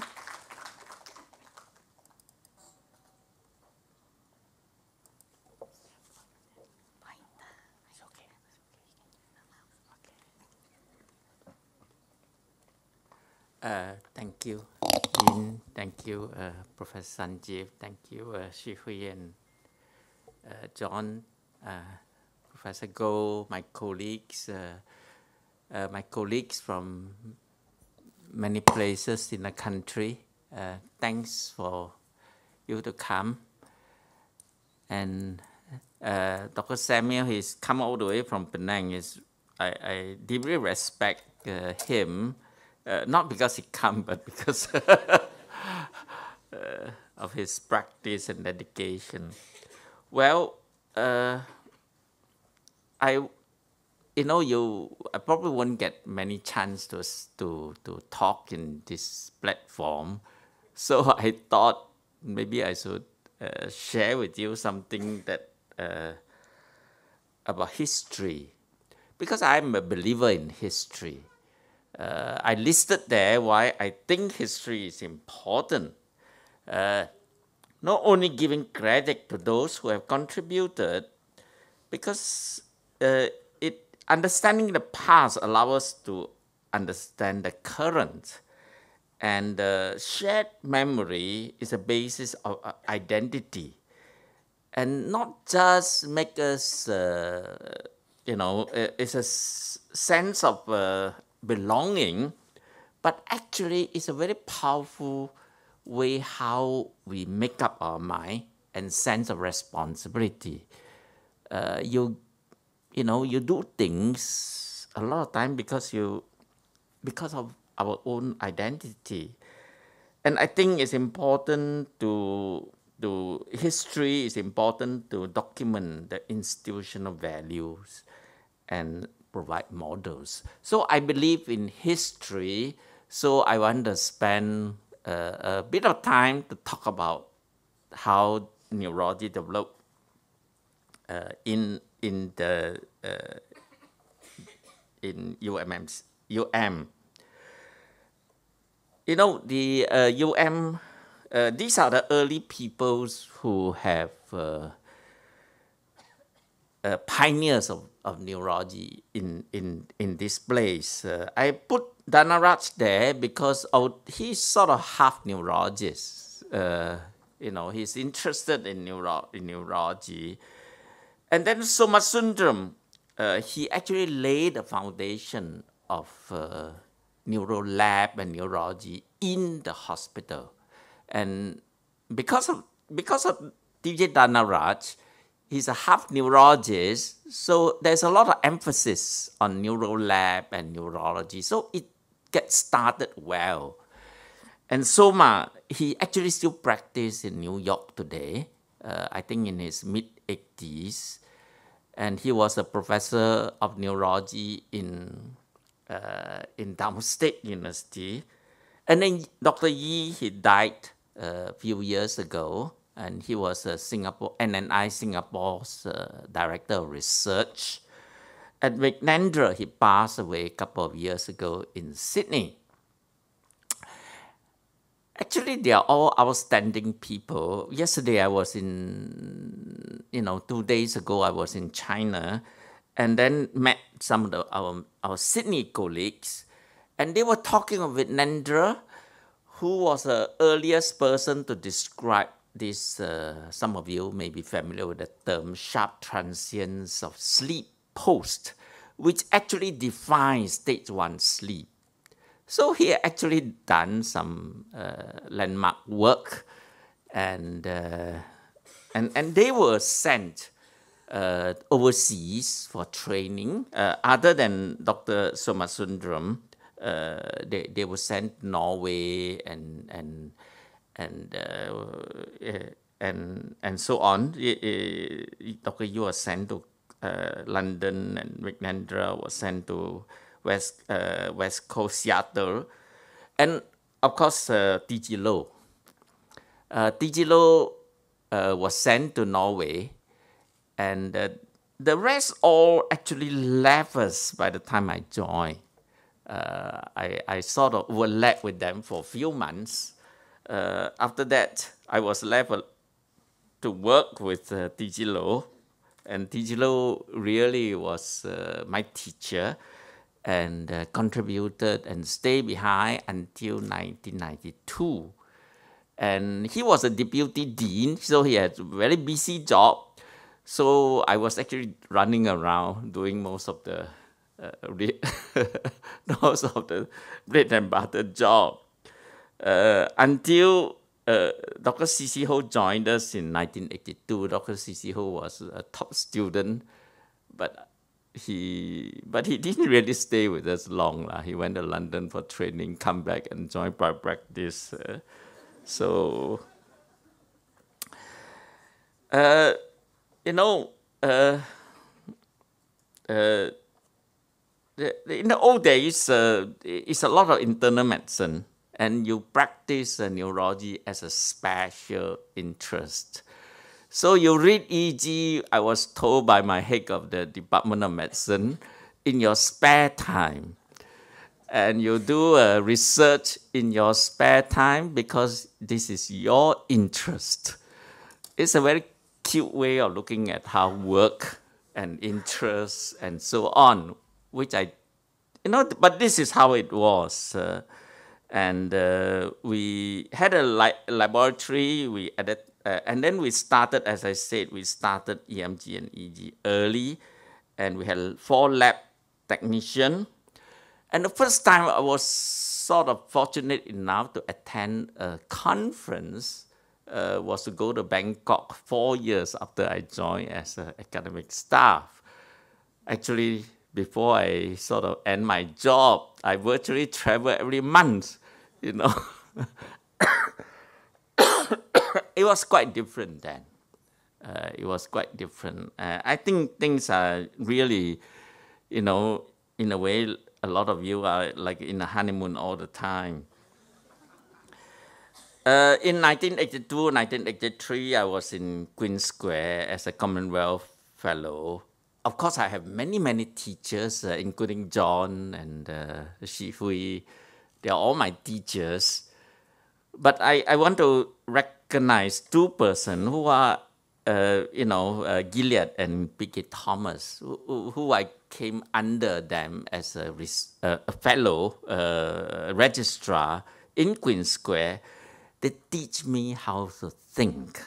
I think this is what they taught me. More than just neurology. So I gonna give tribute to them. So these are the people uh, who, uh, in the 80s, uh, uh, Dr. Lee Mun Kin joined us for 10 years, and uh, he actually wanted to stay on. But anyway, uh, they, this is how it is. And, and I, I did an MD at that time, and I will talk about this later on and published study, and then I founded the Malaysian Society of Neurosciences. I think 85 or so, 86 or something. Uh, there was a meeting uh, where the neurosurgeons are all around. Uh, so uh, Low retired in early 1982, and I took over as head. And uh, and then uh, listed there, we started uh, to, to do intraoperative monitoring. That's a scoliosis surgery We, we evoked potentials. Uh, we had sleep tests. Uh, we started a sleep test done in 1993. Uh, it, it, was using paper. So every day after the test, there'll be a stack of paper. Uh, and after a week, you know, you know the, the, and then the hospital used to complain, we're going to store all these papers, you know, uh, and and then uh, 201 we started to use digital uh, uh recording. And 94 I founded the ASEAN Association with the others and then 96, the Neurological Journal of Southeast Asia, and then later on expanded to Neurology Asia. Well, there are two, thinking back, uh, interpreting the history, uh, actually, I want to give I think one of the main reasons why neurology grew is because of John Bosco. John Bosco was a hematologist. He sort of sneaked into our department. Uh, he, he, he's not exactly an internist, but the thing about him is because he's a hematologist, so previously we can only practice neurology as a hobby. Now we are allowed to subspecialize. So you know, so that's how different. And then of course he's he he built up his own uh, hematology. So so we are allowed to build up the, the neurology and so on. So I give credit to John uh, for giving us freedom uh, to expand. John passed away in 1999. Uh,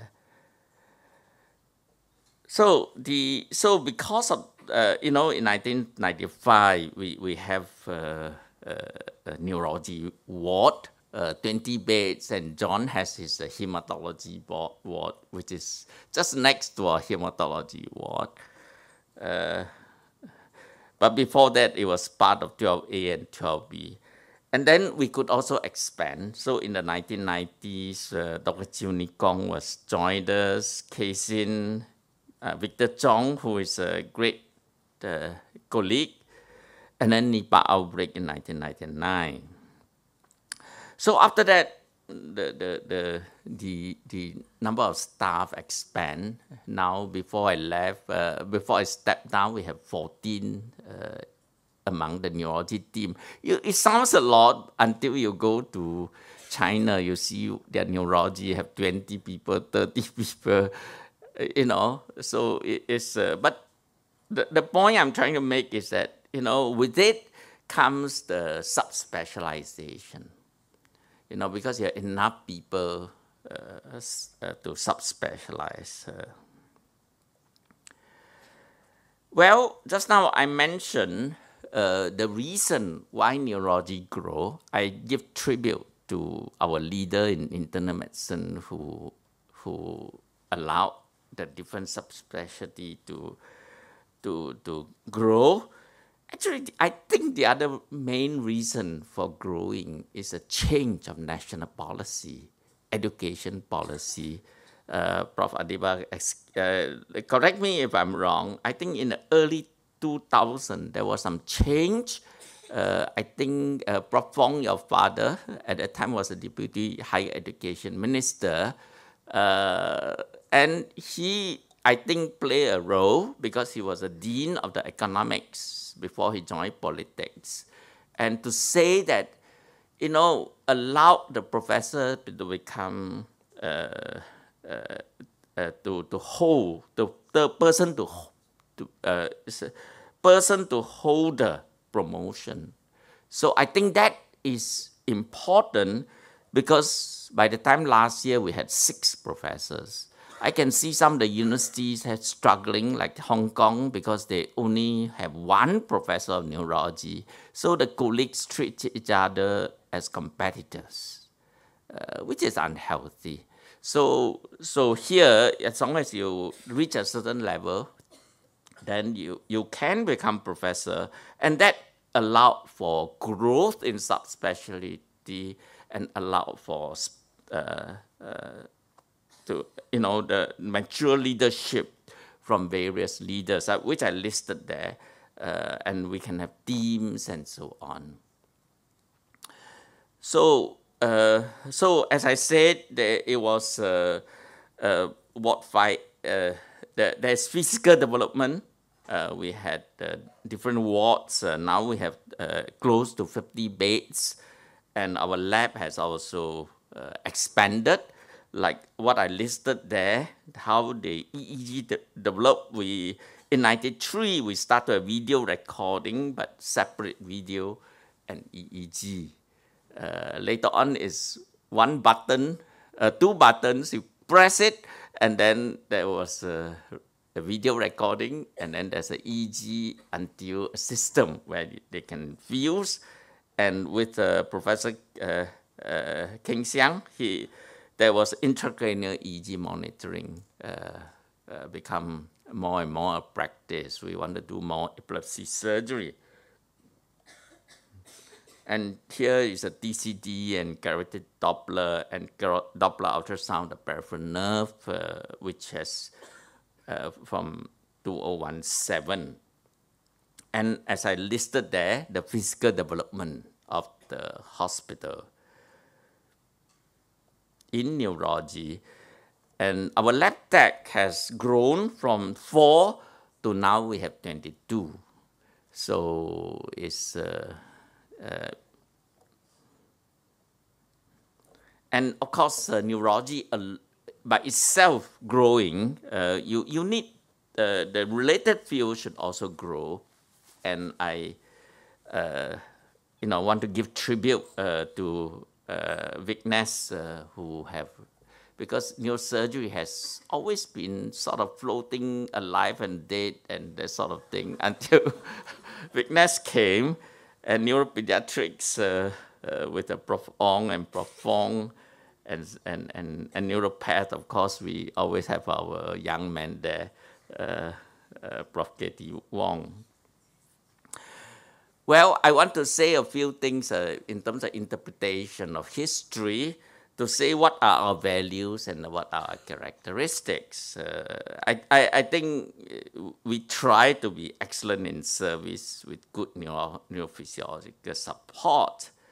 And the second one, we have we put a lot of emphasis on training, uh, education in all levels, and this is uh, our teaching program, uh, weekly teaching program. Because when TG Low was here, he said the way to do it is to have a standard teaching program all the time so you can plug in anytime. So this is the, we keep to this and, uh, and then we have our yearly sort of runs of lecture in neurophysiology that happen every week, every two weeks on neuropsychiatry and clinical neurology every week lectures, and then the case uh, conferences. Uh, we believe in research. So I, I want to quote three examples. Uh, uh, the first one was my own study.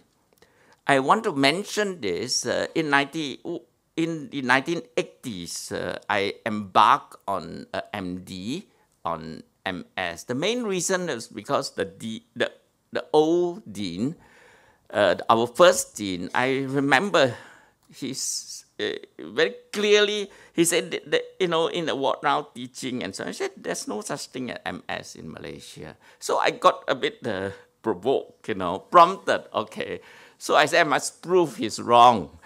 Uh, so so as a young man, I went all over the country looking, tracing the patients, uh, you know, go and visit them in the kampong and so on, to try prove uh, but what I wanted to say is at that time there was very little guidance.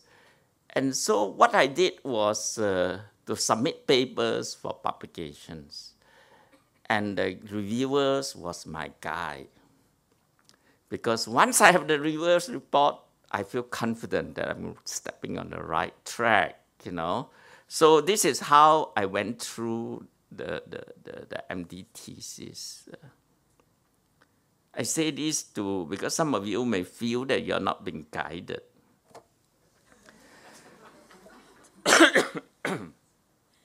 the second thing which I did was uh, at that time we see about half a dozen cryptococcus a year, and they stay for months in the ward, and half of them become blind, although they become okay. So it was a big problem. So I was trying to understand why these people become blind. And then the CT scan was normal.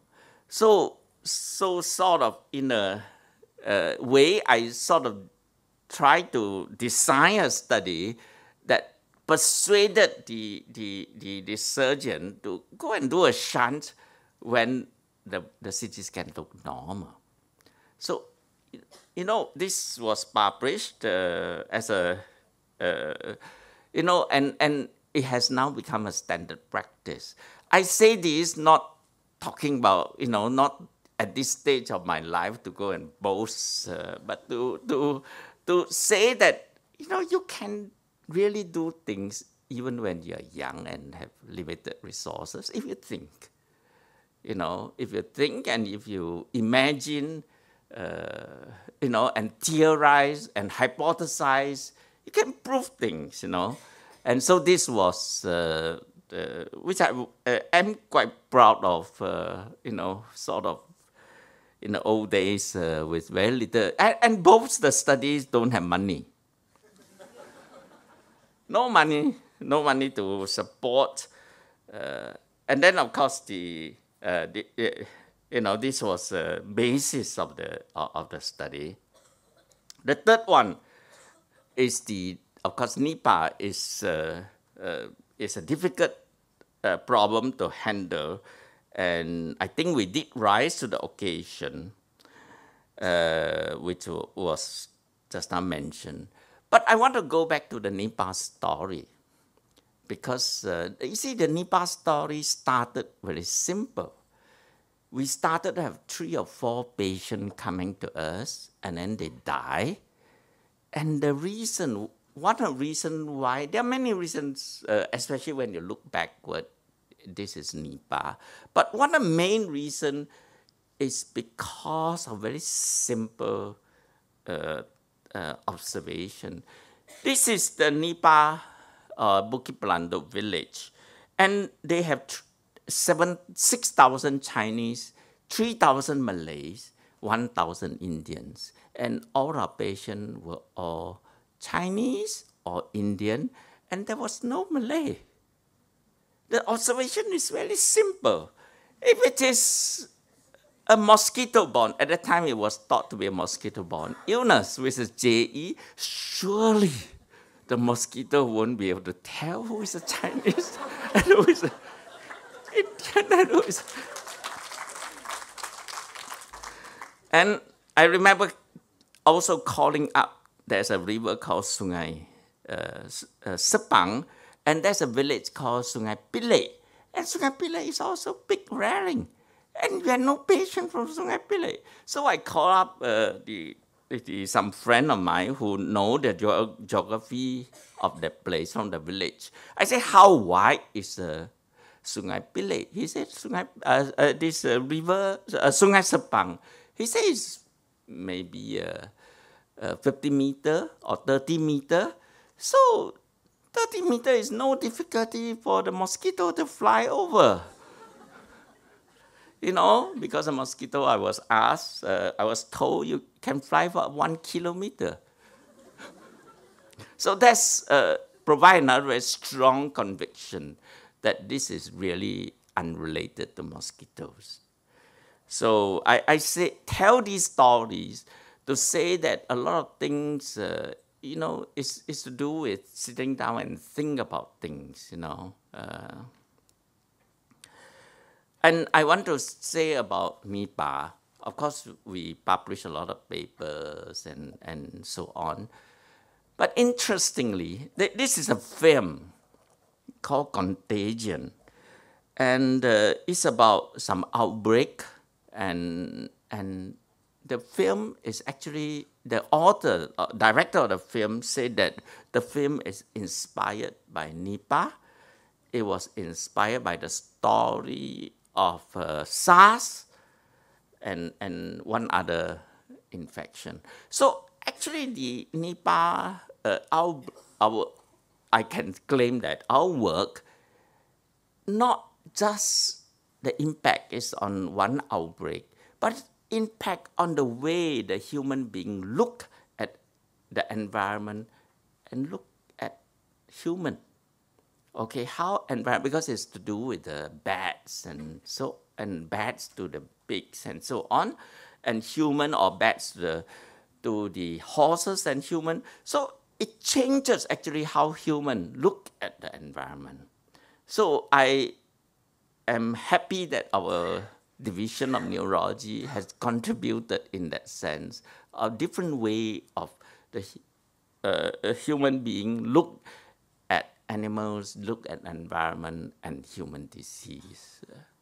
So we can also contribute. So uh, uh, one of value is we got, I think we contribute to national neurology development. I, I mentioned about, uh, just now it was mentioned about, uh, you know, the training of half the neurologists in the country. It, it's not only me, you know, many of us. So Prof. Goh was a president of Neuroscience Society. Now uh, Professor uh, Lim, K.S. Lim, and and uh, a number of us were chairs of different things, and and and uh, international contributions. Actually, I I say this because I'm a little worried that uh, uh I'm glad that Dean talked about international contribu- contribution because I think we should maintain a global outlook, and some of the things that we do cost very little money but I think the impact is enormous. Uh, for example, we have trained about 80, helped to train about 80% of the Burmese neurologists. And, uh, the, and the, the first four Lao neurologists were trained by us. And just imagine the enormous impact. You know, it's not my personal work, it's a work of uh, uh, of these countries' neurological practice and healthcare in this, uh, which you know is very little that we do in a way. We just allow them people to come and uh, teach them and so on. So I I, I think uh, I think I am proud of this and and and the of course we helped to form. Uh, uh Prof. Goh also was a president of ASEAN Neurological Association, and a number of things that I'm proud that a lot of my our colleagues we all participate internationally, uh, including Neurology Asia, and and my you know uh, associate editors and so on, and and John and uh, uh, Prof. Dan and and she shows a lot, a lots of pictures. Uh, it's as if we just spend all our time touring and so on. But I can tell you, yesterday uh, I just came back from China, and I think not me, uh, all of us, uh, they keep telling us how much has our group contributed to Chinese development of epilepsy. You know, I have heard this so many times. Hey, Chen Jiao ni, you know, and, and so on. And they go on and on. And I think it's true. You know, uh, neuro, uh, you know, they used to have very little epilepsy surgery in China. Now every year they do something like 3,000, 5,000 epilepsy surgery. Now they uh, neurologists interested in epilepsy, the membership is 8,000. They have the biggest uh, chapter in the whole world. Uh, you know, the whole world is probably 15,000 and half of them now in China. You know, this, this uh, so it, it, it can mean, uh, and, and I think uh, we I'm also happy that we actually contribute directly to the society to the society. We are not just uh, you know ivory towers. So uh, I am worried. Uh, no, I mean I, you know, I think these are our values and the challenges. Uh, the first thing is I think we should put high priority on the training of neurologists I gave two examples why it is important. You see, Singapore has 97 neurologists. Johor has two neurologists. It's crazy. And uh, Johor has 3 3.5 million people. And our friend uh, Lim Shih Hui, his city has uh, 6 million. And you look at Borneo. Borneo, Kalimantan Barat, if you look at the map, Kalimantan Barat has 19 neurologists. And uh, Sarawak have four. Sabah has two. It's crazy. What, what are we so proud we think we, you know, it's actually we are very, very far behind. And there's no end of the tunnel. If you look at it the way we do, for another 20 years, it'll still be the same. Uh, so really, one need to put very high uh, uh, uh priority. Uh, right now, the MOH, you know, to get a seat of training is so long. You know, I, I think really something need to be done about it. And I take it that as a university, we should uh, also, as a Ministry of Health, uh, we should take it as a high priority. Unfortunately, as far as I know, it's not even in a KPI of the university staff to participate in this sort of training. Am I right? Uh, KPI for doing a master program in the internal medicine, but not in the training on neurologists. So the second thing I want to say is, is that we should maintain the research culture, and uh, I think it's important. And and and I think Prof. Lim just now mentioned about one of the reasons why it is very important because uh, because not all the medicine are straightforward problems, and research is one of the ways that we train our young people how to think and analyze. Uh, you know, they, they, they, uh, the other things, uh, maybe it's time to start the MD PhD program. Maybe we should start a one year program in uh, Master of Clinical Research, you know. Uh, well, you know, now the, hosp- the university talking about use of land, and uh, personally, I would want to see the university giving high priority to translational research in the use of land rather than commercial. Of course, we need money, but uh, but I, I like to see where the heart of the university is. Uh, subspecialty development. Uh, I think the PD Center is a good model. Uh, I want to give tribute to Prof. Lim and his team members uh, and, you know, getting the donors and so on. So uh, I also uh, remember what he told me about, he was trained and spent two years in, in doing a fellowship in Toronto and the Toronto University has the, the, the center actually have a fellowship program to train people like him and to come back and make an impact here. And, and I think perhaps we can do the same. And, and the, the other thing is important is to maintain a global outlook and global mission.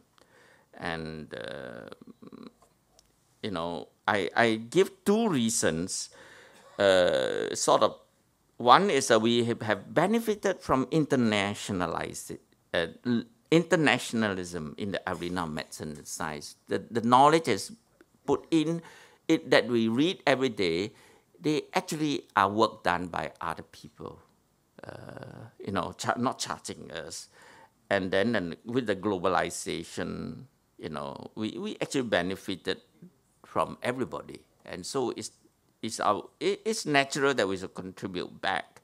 But more important than that, I want to quote the what is written here about Yale's and uh, and and and uh, Harvard talking on Yale University webpage where Yale president states our goal is to become a truly global university, educating leaders and advancing the frontiers of knowledge, not simply for US, but for the entire world. And then uh, quoting uh, uh, Harvard pre- president, we are an American university, but we have a global reach and responsibility.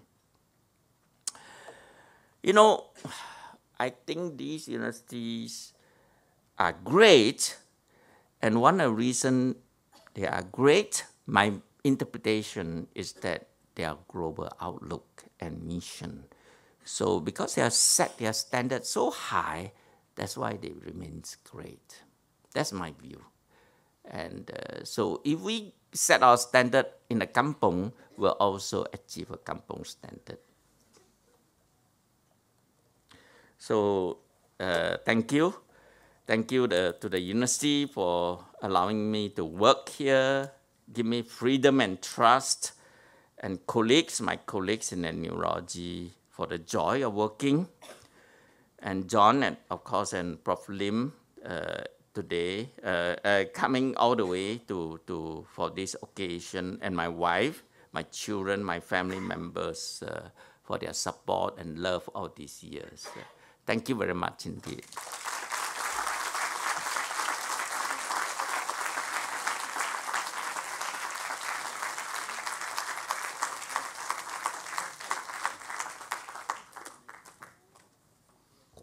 Thank you very much, Professor CT Tan. Now we would like to invite, with great honor again, our Dean, Professor Adeeba, for a special announcement.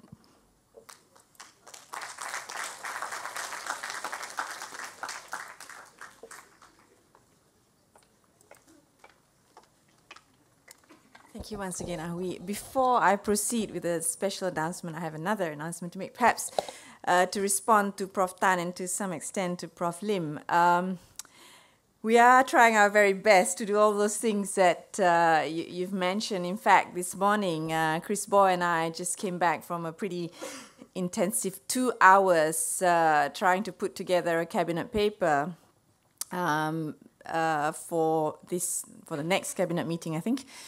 Uh, where we are asking not only for our teaching hospital teaching hospitals, which have this uh, ambiguous status of being a public hospital, and not uh, a government hospital, not government hospital, and perhaps being pushed to accept being under ACTA 586, which is a private hospital. So that's one thing we're um, trying to correct. The second thing we're, we're asking for is um, for the government to allocate uh, posts for training positions for DU53 um, uh, to, so that we can train in addition to the thousand uh, doctors from Ministry of Health that get distributed to all the teaching hospitals um, around the country each year to undergo the master's program, which is the first step before going to become neurologists, etc.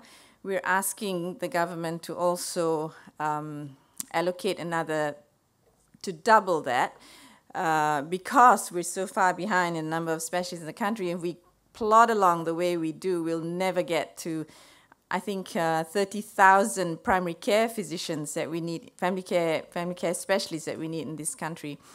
And this will go hand in hand with uh, the third thing that we're asking the government to do is to, um, to approve the uh, formation of one national training program that we're working towards through the uh, national curriculum that, that many in this room are familiar with.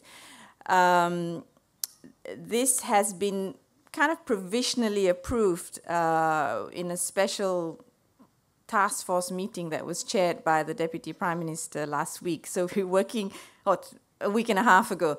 So um, the, the, Dean's Council, Medical Dean's Council, met with um, the Deputy Prime Minister to lament all these things that we're, we're facing. So um, the new national, well, the national curriculum that um, that uh, Lam Chi Lung and Sharul and for internal medicine, and, and I can see Lydia working for rehab medicine.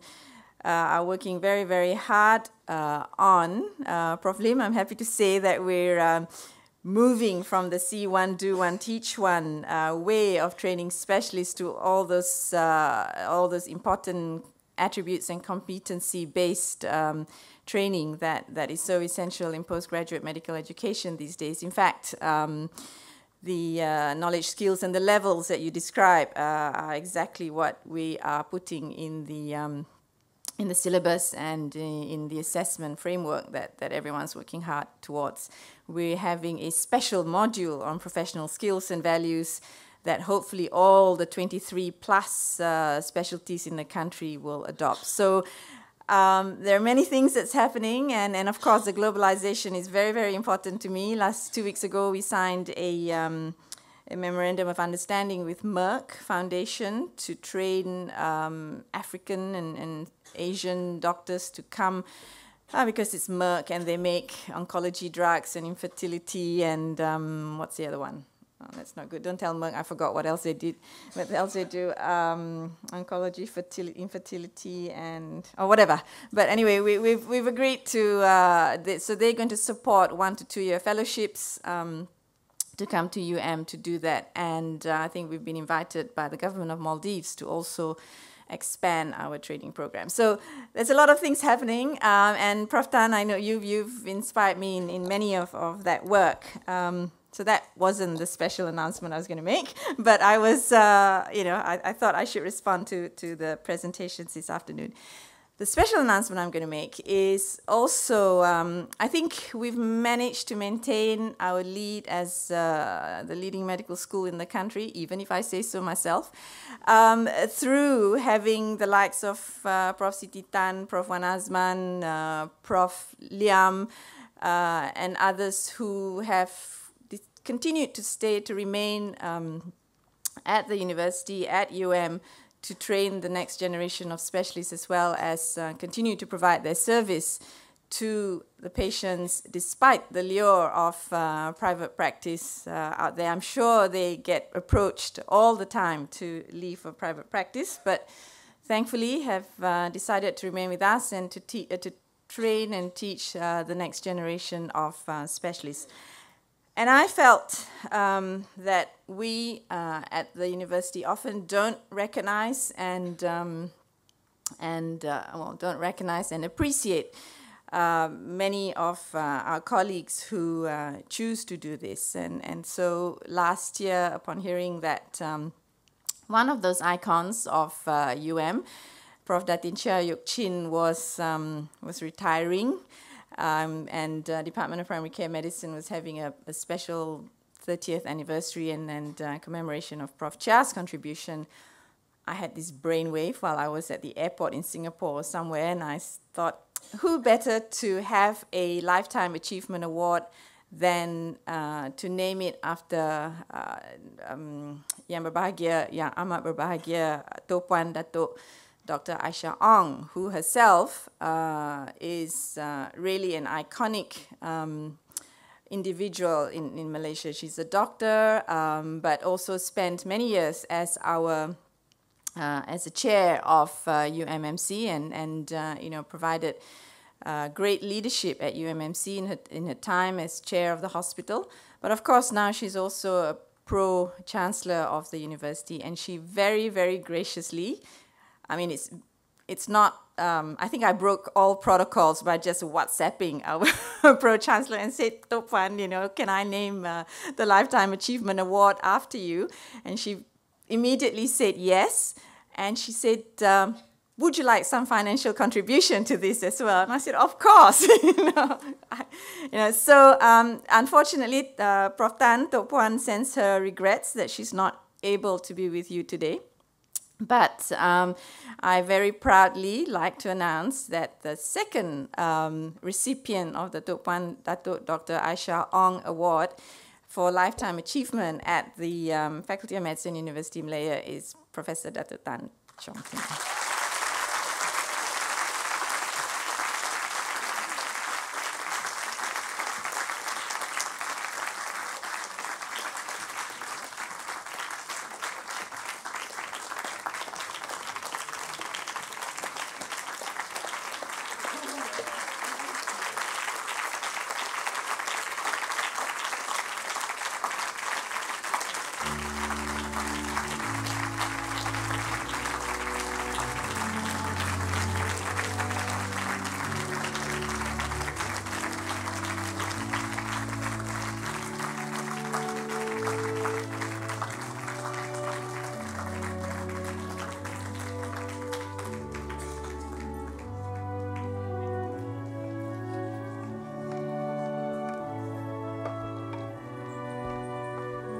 Thank you very much, Professor uh, Adeeba. Now, now the neurology unit and the Department of Medicine would also like to take this opportunity to express our gratitude and our appreciation to Professor Dr. Tan Chong Tin. Now, it's not an easy task to choose a, an appreciation gift to someone who has contributed so immensely to the unit, to the department, and to our lives. Um, so, after much literature review, uh, research, and of course, grant application and fund solicitation, we have decided on this gift. Um,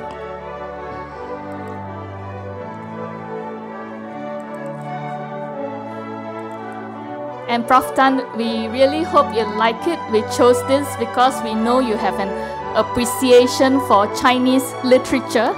So this is a Royal Selangor plaque with a Chinese poem that describes the virtues of a gentleman through the four plants that are commonly quoted in Chinese literature. So let me invite my colleagues to read out the Chinese poem and translate it into English for you.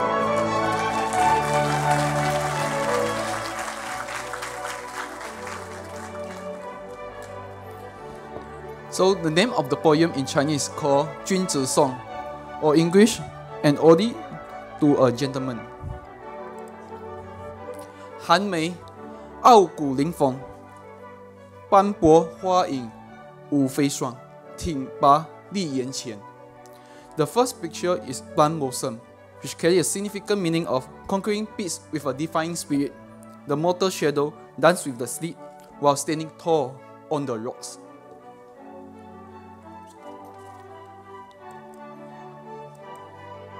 Second line，幽兰铅华尽素，若悟芳香漫深谷，高洁软无尘。This carries the second flower is orchid, which carries the meaning of leading with simplicity. The fragrance diffuses into the valley like a fog, always noble and pristine. Um, this is followed by the third line. 狼族虚怀刚毅，风雨飘摇必易亮，沉韵气自华。So it translates to upholding a virtuous fortitude, yet able to bend with the storm for advantage, rooted deep in age-old strength.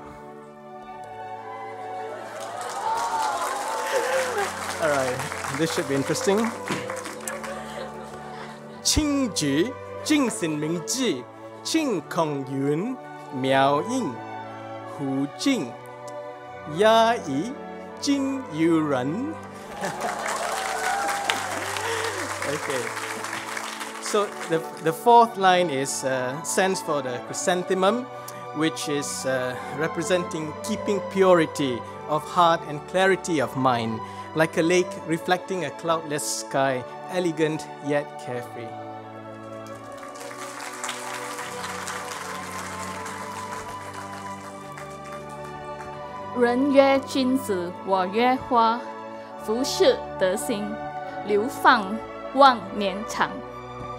Such are the depictions of a gentleman, noble virtues that transcend through the lifetime with effects lasting an eternity.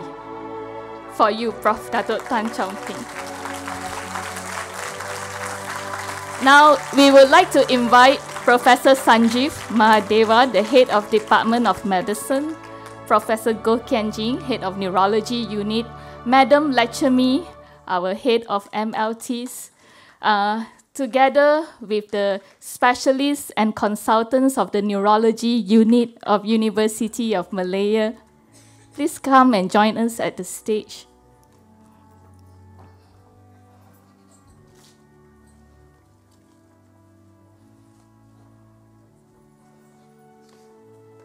We would like to invite Professor Datuk Tan Chong Ting to receive this special gift from all of us.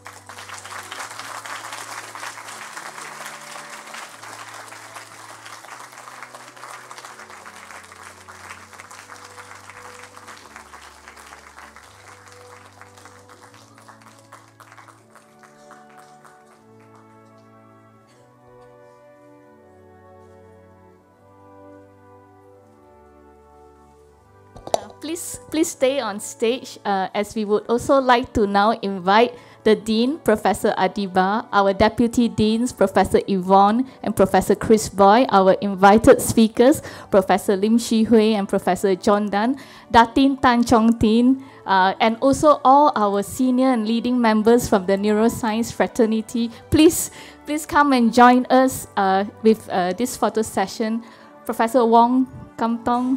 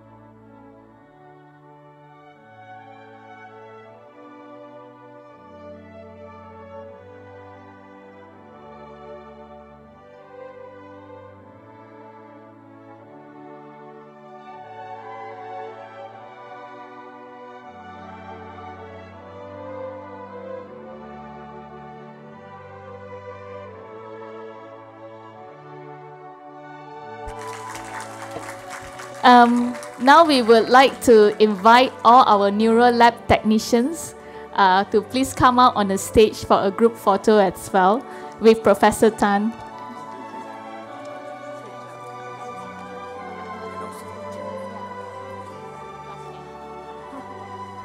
All of you are also cordially invited to tea, just one floor up.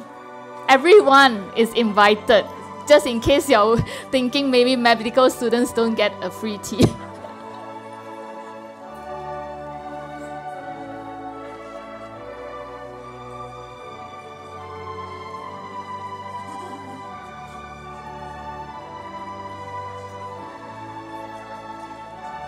Thank you very much again for coming to join us at this Festschrift Symposium. See you at tea upstairs.